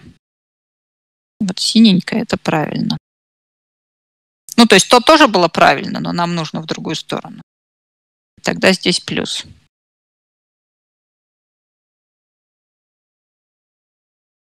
Так, ребят, нормально? Да, да. Да, мы модуль с, с другой стороны раскрыли. Так, ну вот теперь, да, вот эти меры мы оцениваем вот этими синенькими неравенствами. 1 плюс мера внешняя А2 плюс 2 эпсилон. Так, а мера пересечения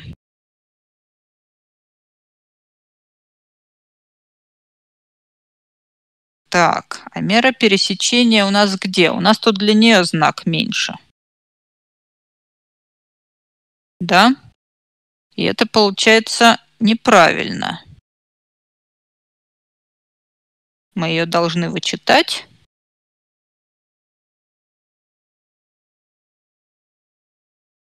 Так, сейчас.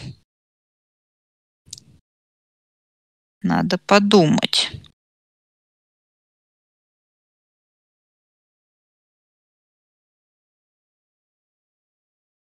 Вот это плохо получается, да, потому что вот этот знак э, мы мы легко поменять не можем. Да, у нас вот здесь включение. Да, это включение, оно именно в такую сторону. Значит, вот этот знак у нас э, фиксирован. Да, он обязательно меньше. Мы его поменять не можем. А вот эти знаки мы можем менять. Так, вот я сейчас думаю, возможно, мы изначально были правы, когда... Так, сейчас, одну секунду.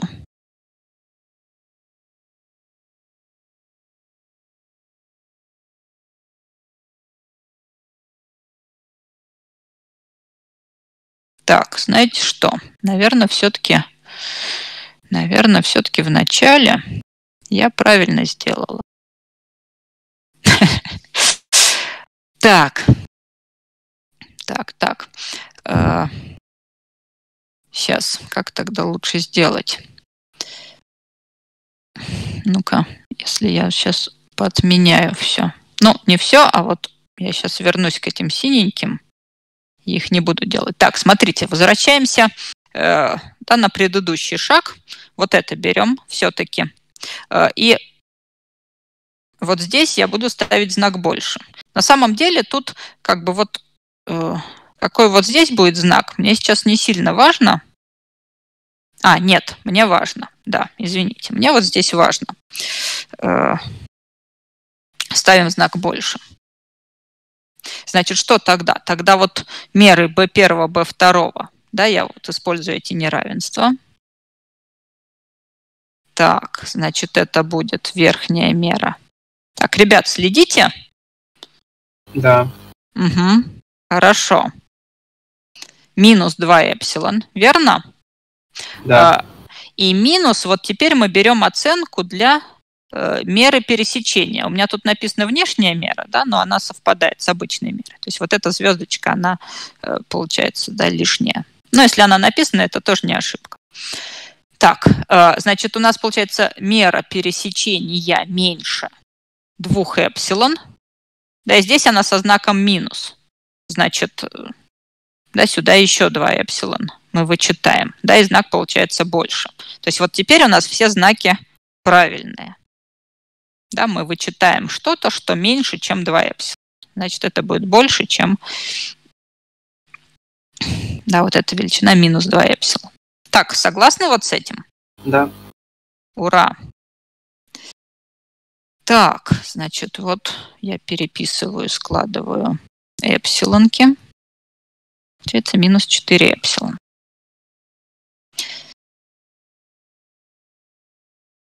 Так, ну и еще, еще одно действие – так, которое нам нужно. Э, значит, э, так, еще э, давайте используем включение, которое мы уже писали. Да, вот, которое мы уже использовали для четырех множеств. А1 на 2 их объединение, взятое с симметрической разностью, с объединением B1, B2. Да, вот эта конструкция входит в объединение симметрических разностей. И вот это включение я использую следующим образом.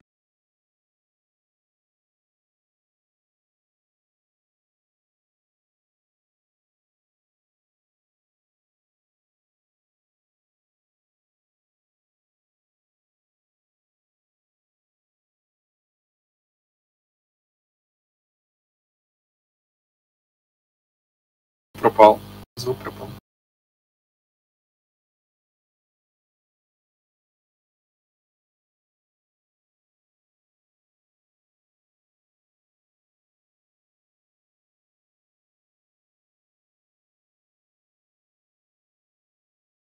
А теперь слышно? Да, да, да, теперь есть. Ага, хорошо. Да, отлично. Денис, спасибо вам. Вы нас выручаете. Так, значит, э, что получается? Мы записали, да, вот это включение, и теперь мы пишем утверждение леммы для множеств, э, для двух объединений. А1 объединенное с А2 и B1 объединенное с B2. Сюда лемма утверждает что? Что разность их внешних мер не превосходит внешние меры их симметрической разности.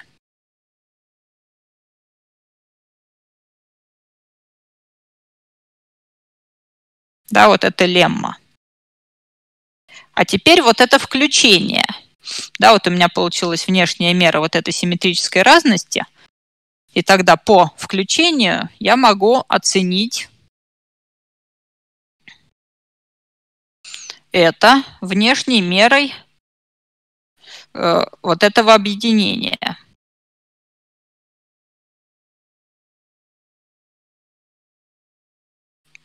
Согласны? Да, согласна. Угу. Так, а теперь это объединение. Я распишу, опять же, оценю сверху как сумму э, мера вот этого объединения не превосходит суммы внешних мер, так, лишние скобки, вот этих симметрических разностей,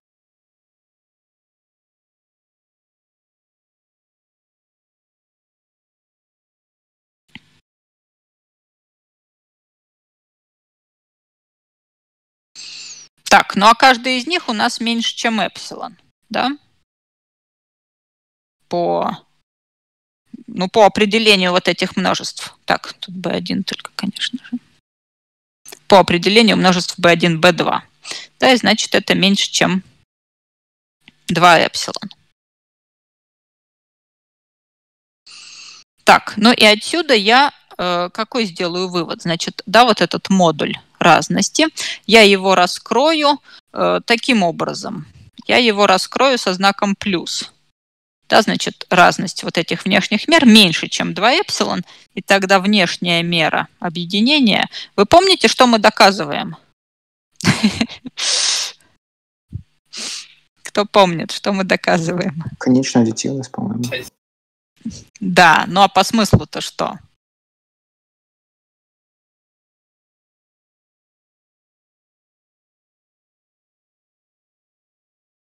Что у нас мера А равно... Что... Да, что вот это множество, один объединенное со 2, э, что э, его мера – это сумма мер. Да?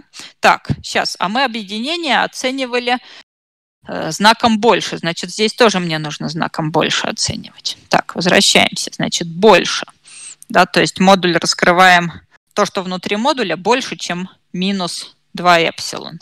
Значит, вот эта мера больше, чем мю со звездочкой от B1.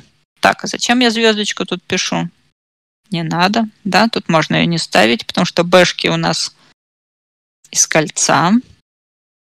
Так, и минус 2 эпсилон. Согласны?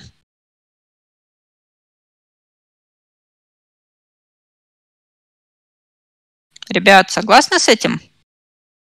Да, согласен. Угу. То есть мы модуль раскрыли как то, что внутри модуля больше, чем минус 2 эпсилон. Так, ну а теперь вот эту меру мы оценивали тоже. Да, она была больше, чем... Да, вот здесь, видите?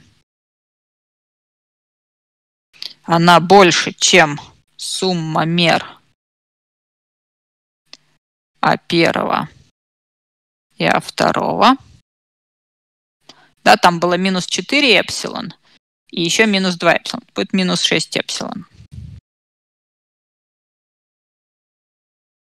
Итак, вот смотрите. Мы получили очень важное неравенство.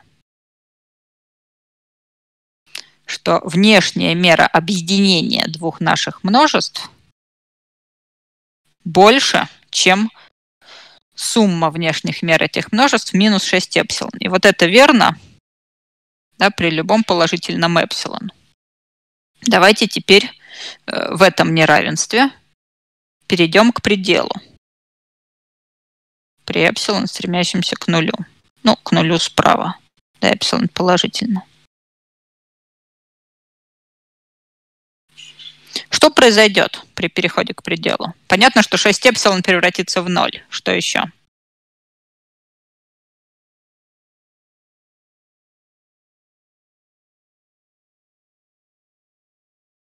У нас неравенство. Верно ли вот тогда? Да, у нас в левой части эпсилон нету.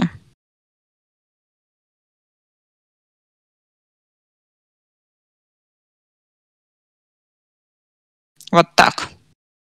Верно? Перешли к пределу. Да, верно.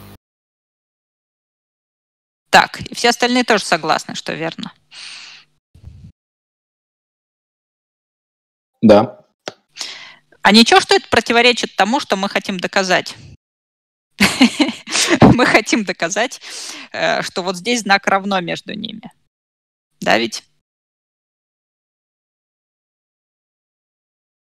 Мы хотим доказать равенство да, что мера объединения, объединение здесь дизъюнктное, э, что мера объединения равна сумме мер. А мы тут получили, что строго больше. Что-то тут не то.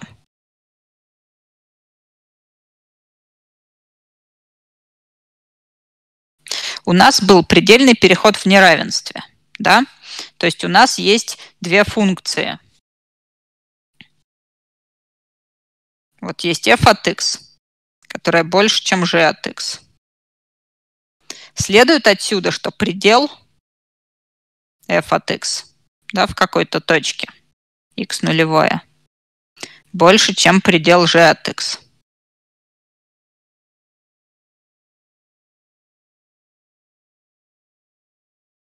Вот это верно? Это неверно. Так, а как верно? Больше либо равно. Больше либо равно. Так, это кто говорит? Кто, кто-то. Кто-то. Это не Олег, это Даня. Хорошо. Больше либо равно. То есть при переходе в неравенство к пределу из строгого неравенства получается не строгое. То есть вот здесь обязательно больше либо равно. Да, переходя к пределу, мы можем получить равенство. Так, значит, вот так мы получили.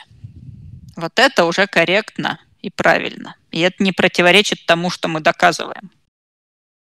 Так, но с другой стороны, смотрите, мы знаем свойства внешней меры, да, которая говорит о том, что внешняя мера объединения что? Как связано с мерами самих множеств. Меньше либо равна, чем... Да, да, да. Меньше либо равна, чем сумма.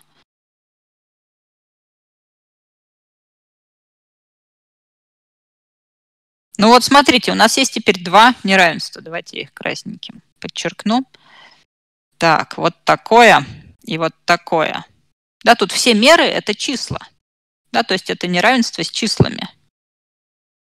Ну и понятно, что из этих двух неравенств следует равенство, да?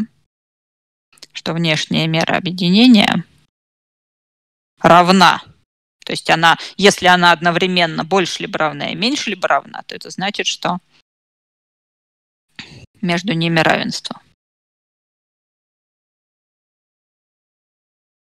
Итак, давайте еще раз посмотрим доказательство большое и сложное мы доказывали конечную аддитивность меры Лебега.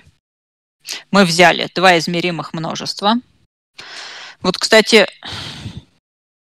да, я везде писала, э, ну, почти везде писала внешнюю меру, хотя да, на измеримых множествах мы могли бы ее просто мио обозначить, но на самом деле внешнюю меру нам сейчас писать удобнее, да, потому что мы вот ссылаемся на свойства внешней меры. Так что тут э, я намеренно это делала.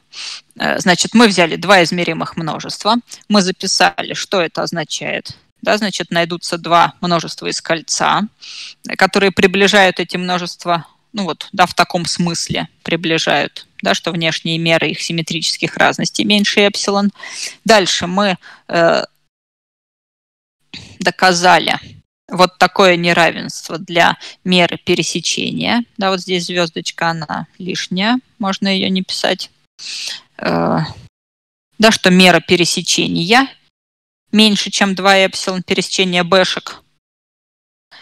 Да, вот это как бы одно неравенство. Следующее полезное неравенство. Э, ну, вот это, да, вспомогательное неравенство, да, а Э, следующее полезное неравенство – это мера объединения бэшечек. То есть мы оценили меру пересечения сверху, а меру объединения мы оценили снизу. Вот таким числом. Сюда вошли уже меры множеств А.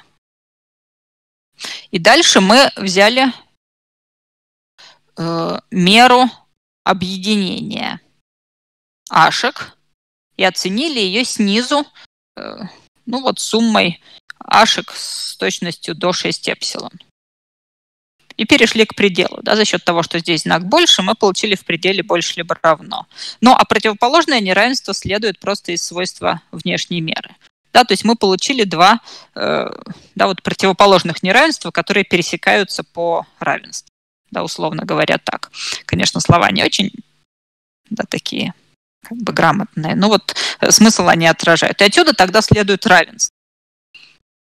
Это для двух множеств. Ну и понятно, что отсюда мы можем э, да, обобщить э, на любое конечное количество множеств. То есть от двух перейти к трем и так далее. И тогда для любого конечного множества для любого конечного набора э, не пересекающихся множеств у нас будет верно э, то, что при объединении этих множеств их меры складываются. Ребят, вопросы?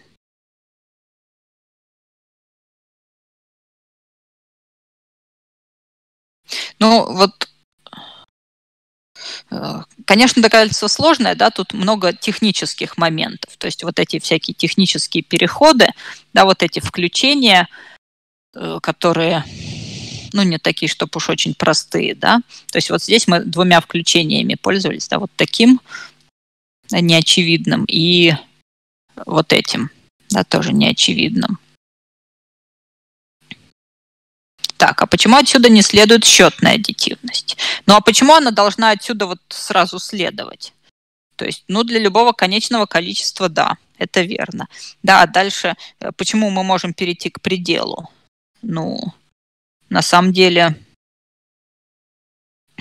как бы у нас нет таких оснований.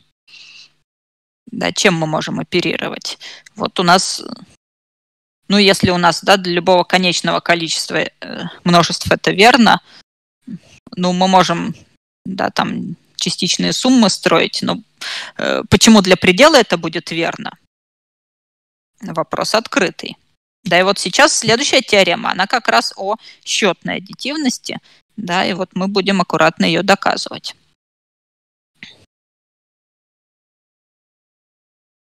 Так, ну что, поехали.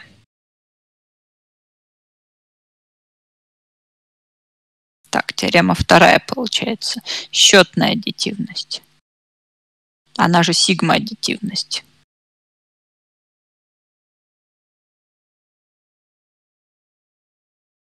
Меры Лебега.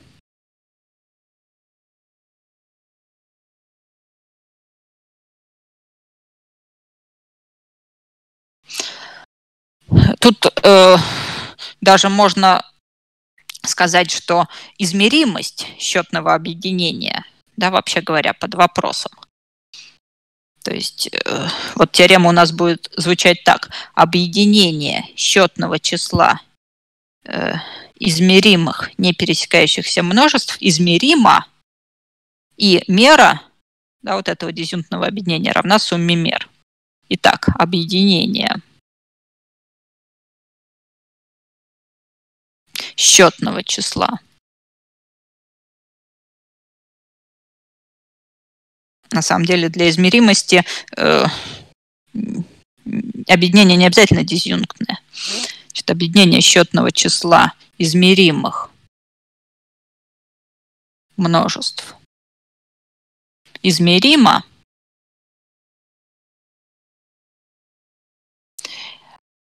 И можно записать вот так, что мера объединения дизъюнктного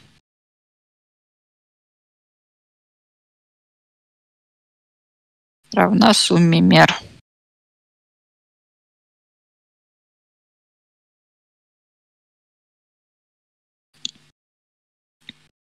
Ну, где все аиты, конечно, измеримы.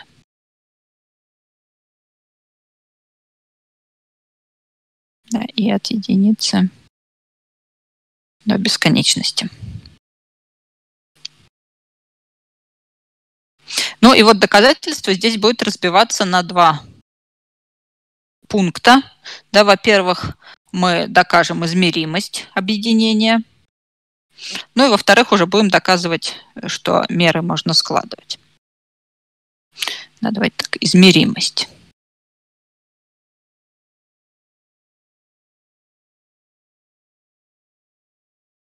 Ну и вот здесь э, очень хочется перейти к множествам, которые не пересекаются. Э, но давайте все-таки изначально возьмем произвольный набор множеств измеримых. И если среди них есть какие-то множества, которые попарно пересекаются, то давайте рассмотрим вот такие конструкции. А n штрих – это множество, которое получается как разность. АН и объединение всех предыдущих. Ну, давайте, аитых от первого до n минус первого.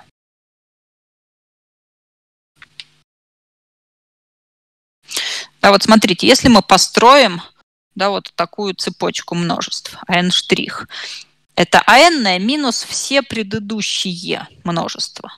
Да, тогда получается, что в множество n штрих попадают э, все те элементы an, которые не содержатся ни в одном предыдущем множестве. Правильно?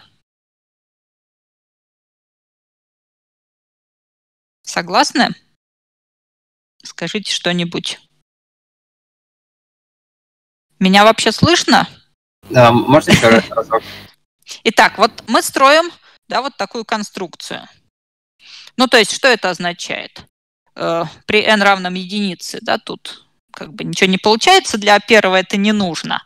Да, вот мы строим, ну, давайте тогда так, а первое штрих просто равно а первому. Да, теперь мы строим множество а второе штрих. Это а второе минус а первое.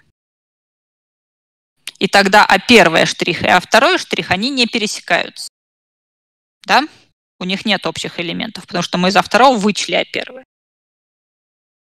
Теперь мы берем а третий штрих. Это а третье минус объединение А1 и А2. То есть мы из А третьего убрали все элементы, которые попадали в А1 и А2. Вот теперь эти три множества, они могут пересекаться, ну, какие-то попарно? Нет. Нет, не Нет. могут. То есть у них никакая пара множеств не пересекается. Ну так и так далее. Да, мы возьмем А4 штрих, и мы тогда из нового да, множества А4 удалим все то, что попадает в предыдущие три множества. И тогда в множестве А4 штрих э, нет никаких элементов, которые лежат в каком-то другом множестве. И тогда, опять же, А4 штрих не будет пересекаться ни с одним из предыдущих множеств. И так далее. Да, вот каждое следующее множество, оно не будет пересекаться ни с одним из предыдущих. И это значит, что вот этот новый набор множеств, а n штрих, э, да, в нем любые два множества не пересекаются. Да, значит, они попарно не пересекаются. Но при этом мы не выкинули никаких лишних элементов. Да, то есть вот э, ничто не потерялось. Ну и тогда будем дальше работать вот с этими множествами, да, потому что нам это удобней. Э, и тогда э, мы можем вот э, да, главное для нас что? Что значит, что ничего не потерялось? Объединение всех а n теперь мы можем представить в виде дизъюнктного объединения АН штрих. Правильно? Согласны? Да, согласна. Угу. Ну и давайте это объединение обозначим множеством А. То есть мы перешли от каких-то, возможно, пересекающихся множеств уже точно к набору попарно не пересекающихся множеств. Ну и дальше давайте, да, вот эти штрихи опустим, да, чтобы нам штрихи не писать. То есть теперь вот обозначим АН штрих просто за АН. То есть мы теперь можем забыть, да, что у нас изначально какие-то они были другие. Так, э, ну, э, давайте рассмотрим конечную сумму. Значит, я возьму сумму мер окатах э, конечную сумму из n множеств. Да, значит, вот, да, это АКТ штрих, но уже штрих не будем писать. Да, значит, давайте так вот. Да, последний раз его поставим. Да, и дальше я говорю, что штрихи не пишем. Э, значит, что мы можем сказать? Мы можем сказать, что это есть мера объединения дизъюнктного.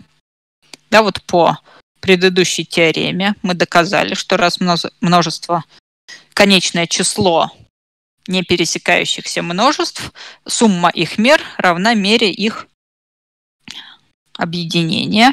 Ну и тогда, э, да, у нас что получается? Эти множества, они измеримы, да, значит, их мера – это есть внешняя мера. И получается внешняя мера объединения. Про нее мы знаем, что она не превосходит э, внешние меры самого множества А. Да, так как объединение, вот это конечное,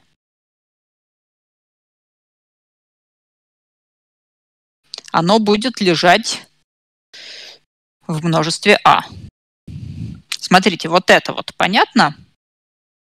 У нас множество А – это э, счетное объединение, то есть объединение бесконечного количества не пересекающихся множеств. А мы из них взяли какой-то конечный набор. Да, то есть если мы его дополним вот тем хвостом, то мы получим ровно множество А. Но пока мы не дополнили, мы получаем просто вот такое включение. И тогда мы можем вот это неравенство написать. Согласны? Да, да. Угу, хорошо. Но отсюда какой мы вывод делаем? Э, если мы теперь будем переходить к пределу, вот в этом равенстве, при n стремящемся к бесконечности, то у нас вот это неравенство сохранится. Да, а здесь э, какое-то множ... Э, какое число. Да, внешняя мера, она да, всегда существует, дает некоторое число. И у нас получается, что вот частичные суммы этого ряда, а ряд положительный, да, частичные суммы ограничены сверху.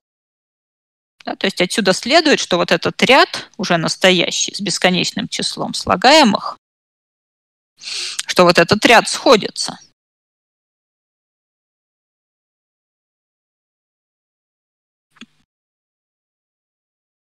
Так, смотрите еще раз. Да, у нас есть положительный ряд, его слагаемое, ну, не отрицательное, да, больше либо равное нуля. И для любого n, да, у нас любая да, вот здесь написана частичная сумма, э, то есть сумма первых n слагаемых, э, она всегда оказывается ограниченной сверху. Да, с ростом n у нас частичная сумма будет расти, но ограничение сверху остается всегда. Да, от n э, вот это число не зависит. Это означает, что ряд сходится, то есть у частичной суммы будет конечный предел, который будет суммой ряда. Так, ну а теперь мы воспользуемся э, свойством сходящегося ряда. Сходящийся ряд Э, это такой ряд, у которого остаток стремится к нулю. Да, следовательно, его остаток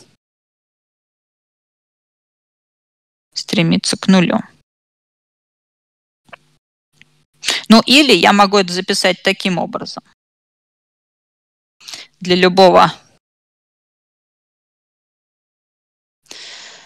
для любого эпсилон у меня найдется такой номер n большое, ну, конечно, натуральный, что остаток, что такое остаток? Это сумма всех членов ряда, начиная с какого-то, да, не с первого, а вот с какого-то, с n-ного. Стремиться к нулю, значит, будет меньше эпсилон, ну или меньше, чем эпсилон пополам. Так, ребят, вот это понятно? Вот эта вот сумма – это остаток нашего ряда, вот этого. Да, мы можем частичную сумму записать до n-1, и тогда да, весь хвост – это сумма, начиная с n большого до бесконечности. Да, если ряд сходится, то его остаток стремится к нулю. Значит, остаток может быть сделан меньше, чем да, вот любое наперед выбранное число. Так, ура! Э, ну, давайте теперь обозначим э, да, вот саму частичную сумму. Э, только я возьму не сумму мер, а множество. То есть вот объединение окатых от единицы до n минус 1. Да, вот такое объединение конечного числа множеств. Э, у нас множества измеримые да, по конечной аддитивности у нас c тоже будет измеримо.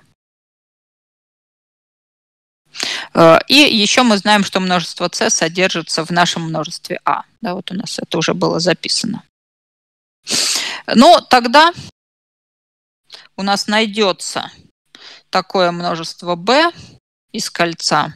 Да, я вот сейчас измеримость пишу. Такое, что внешняя мера их симметрической разности меньше, чем эпсилон пополам.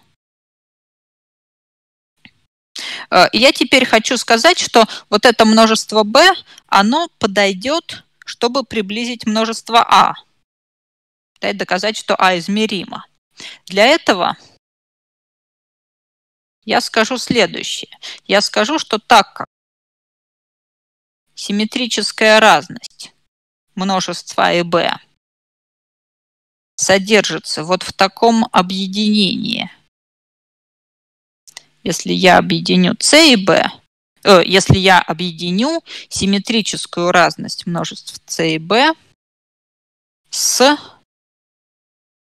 хвостом. Значит, c у нас было до n минус первого, хвост тогда с n. -ного. Итак, посмотрите, пожалуйста, вот такое включение, верно. С входит в А. Да, то есть вот мы выделили кусочек, да, симметрическая разность B с каким-то подмножеством множества А и плюс хвост.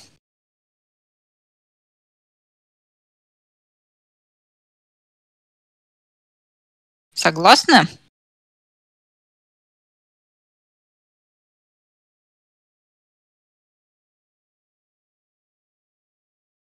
Так, ну давайте попробуем нарисовать. А, то, то есть первое, получается, n-1 член из А, они у нас будут симметрической разности вот, вот этой c минус Да, да. Понятно. c это вот, да, набор из n-1 множества. То есть мы b пересекли, ну, не пересекли, да, симметрическую разность сделали с n-1 множеством, и хвост отдельно записали. Да, хвост мы не, с хвостом мы не делали симметрическую разность, но это здесь просто включение. Да, здесь равенства нет. Так, ладно, не буду тогда рисовать. Так. Э, ну, тогда мы можем отсюда э, да, для внешней меры получить неравенство. Мы тогда скажем, что внешняя мера вот этой симметрической разности. Мы, э, что мы хотим доказать? Мы хотим доказать, что множество А измеримо. Да, и вот я утверждаю, что вот эта симметрическая разность окажется меньше эпсилон. Да, и вот давайте сейчас это покажем. Да, я получаю неравенство вот такое. Симметрическая разность вот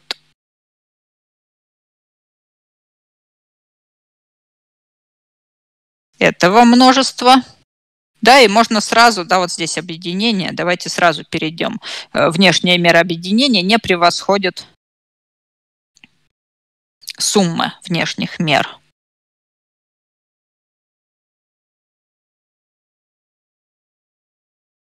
Вот так.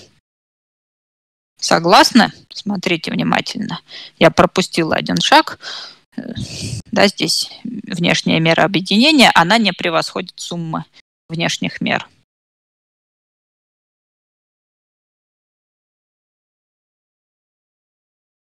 Ребята, согласны? Да, согласна. Да. Угу. Ну так и все, смотрите, уже получилось. Вот эту внешнюю меру мы оценивали меньше, чем эпсилон пополам, за счет того, что c измеримо. Вот эту внешнюю меру мы тоже оценивали. А, вот она. Да, тоже меньше, чем эпсилон пополам, так как это хвост ряда. Сейчас, нет, погодите. Что-то не то. Нет, они дизъюнктны, и поэтому у нас внешняя мера совпадает с обычной мерой. И поэтому мы так можем записать. Нет? Они дизъюнктные. У меня вот здесь не, не очень хорошо. Нужно было здесь сразу меру снаружи написать. Почему? Потому что, значит, они, во-первых, дизъюнтные, во-вторых, этот ряд сходится. Сейчас, нет, не очень корректно получается. Еще один шаг. Еще один шаг пропущен. Но тут речь про внешнюю меру. Да, то есть это не просто мера. Мы не можем ее взять и вот внутрь внести. Да, это неправильно, мы еще не доказали. Ну, а мы можем сказать, что так как у нас ну, сумма мер окатых сходится, то как бы исходя из предыдущих аналогий, ну, мы просто можем записать это как меры от объедин... ну, этого дизъюнктного объединения. Значит, у нас сумма мер окатых сходится. То есть у нас здесь есть конечный предел. Мы говорим, что мы рассматриваем хвост. Э, то есть здесь, вот давайте, э, мы здесь можем пользоваться на самом деле просто свойством внешней меры. Да, вот если мы с вами вернемся далеко-далеко назад, когда мы только ввели внешнюю меру,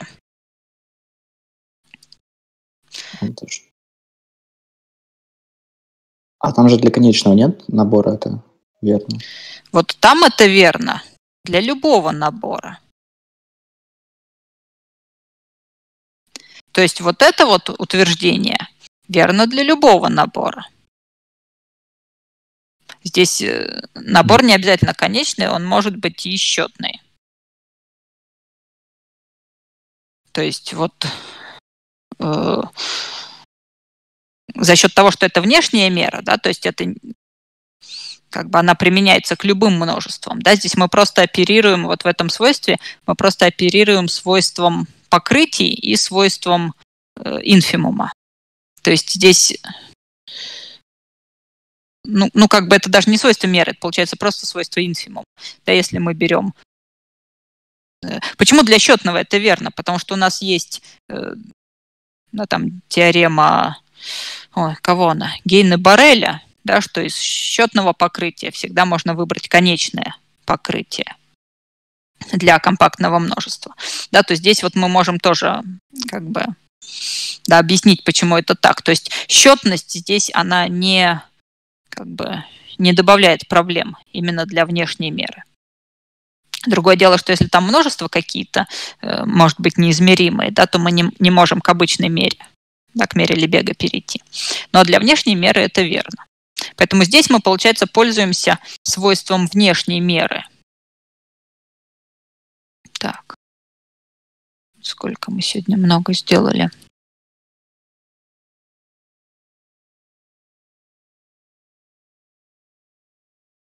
Да, значит, вот эта штука меньше, чем эпсилон пополам по свойству внешней меры.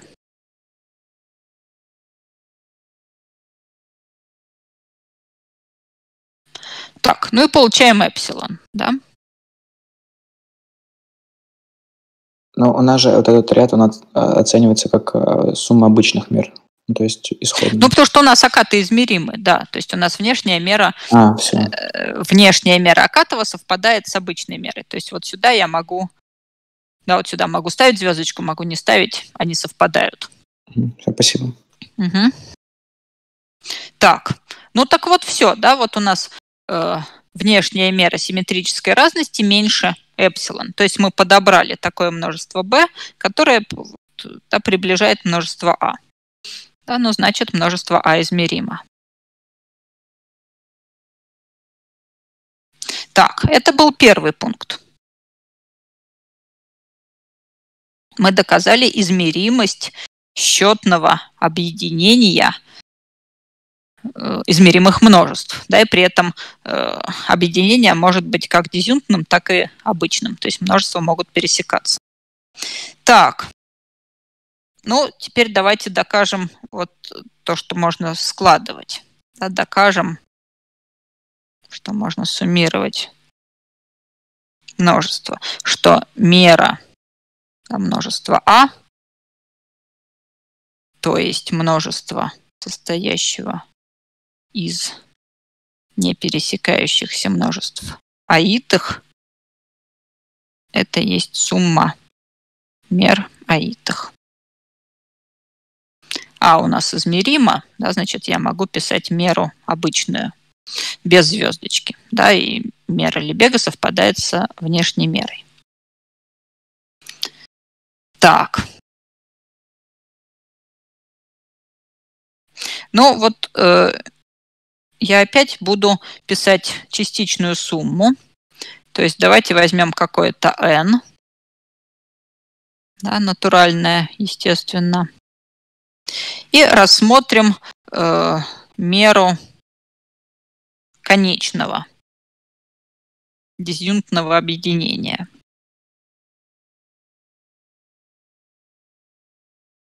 Да, по предыдущей теореме мы можем э, просто просуммировать меры.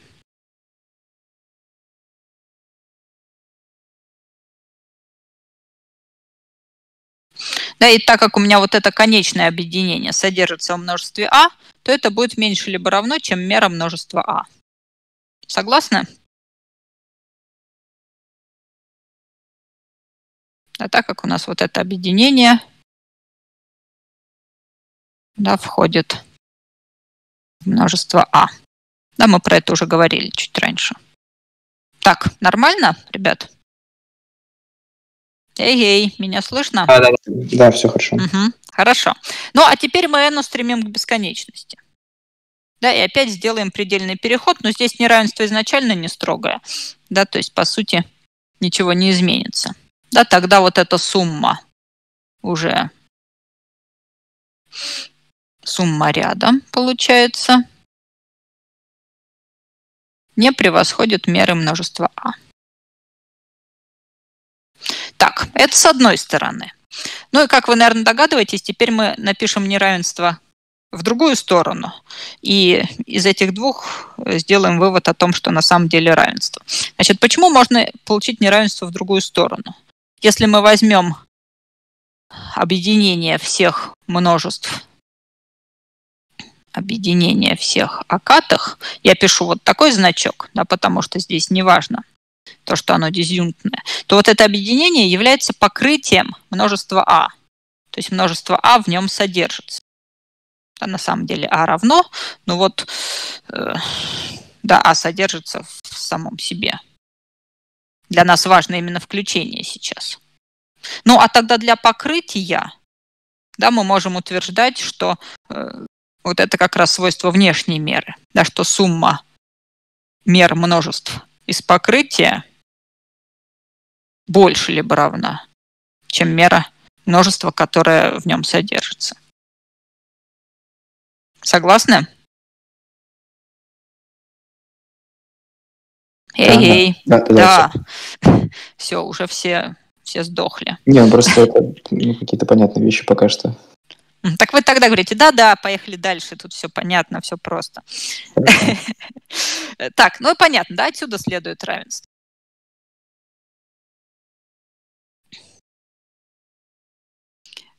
То есть вот это стандартный прием, когда, э, да, чтобы получить равенство, доказывают два неравенства. Да, такие вот. Ну, они не противоположные, да, но вот больше либо равно и меньше либо равно. И отсюда делают вывод о равенстве. Так, ну вот э, получилось. Да, значит, э, мы можем теперь утверждать, что мера Лебега является счетно-аддитивной Э, и можно отсюда получить э, несколько полезных следствий. Давайте их оформим как следствие. Значит, первое следствие. Э, пересечение счетного числа измеримых множеств измеримо. Пересечение счетного числа измеримых множеств измеримо. Как это называется? Когда мы можем брать счетные пересечения и не выходить за вот рамки класса множеств. Дельта. Угу. Да, это дельта-кольцо. Почему это так? Ну, потому что мы можем пересечение, даже счетное, выразить через объединение. Да, вот сегодня уже вспоминали да, формулы Де Моргана. Да, они как в логике, они такие же и для множеств. Э, я могу пересечение записать как дополнение. Так, дополнение чего? Объединение дополнений, да? Вот это верно?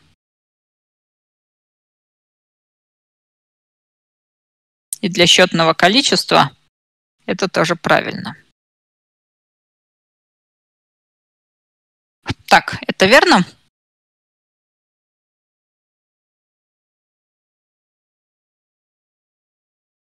Ну, мы, кажется, уже писали так. Только мы писали для конечного числа, а теперь для счетного. Для счетного все то же самое. То есть вот э, э, что тогда получается? Если у нас все окаты измеримы, то тогда и дополнение измеримо, объединение, да, счетное объединение измеримых измеримо, и еще раз дополнение. Да, то есть вот тогда счетные пересечения тоже возможны. Но здесь обязательно должна быть единица. Да, вот если единицы нет, то уже да, возникают сложности. Так, меня слышно? Да, все понятно, идем дальше. Угу. Да, э, ну и тогда мы можем сказать, э, э, как можно описать множество всех измеримых множеств. Итак, множество. Вот мы чуть раньше говорили, что это кольцо и что это алгебра. Да? Давайте уточним. Множество измеримых множеств является измеримых множеств является чем? Как можно алгебру еще усилить, улучшить? Сигма-алгебра. Сигма-алгебра. Ну так да.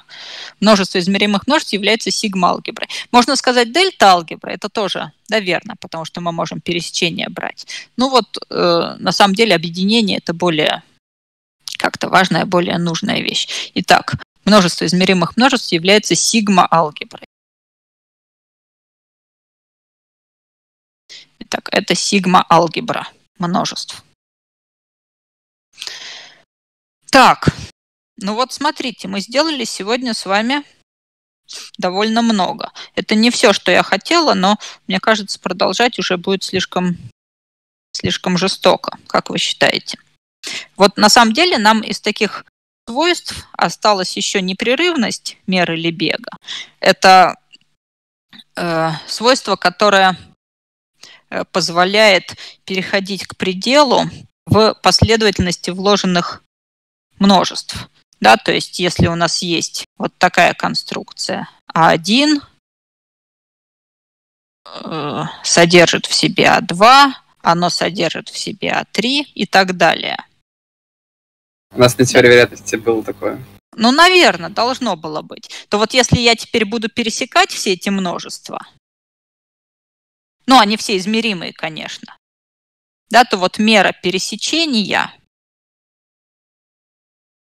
как связано с этими? Просто мера АН будет.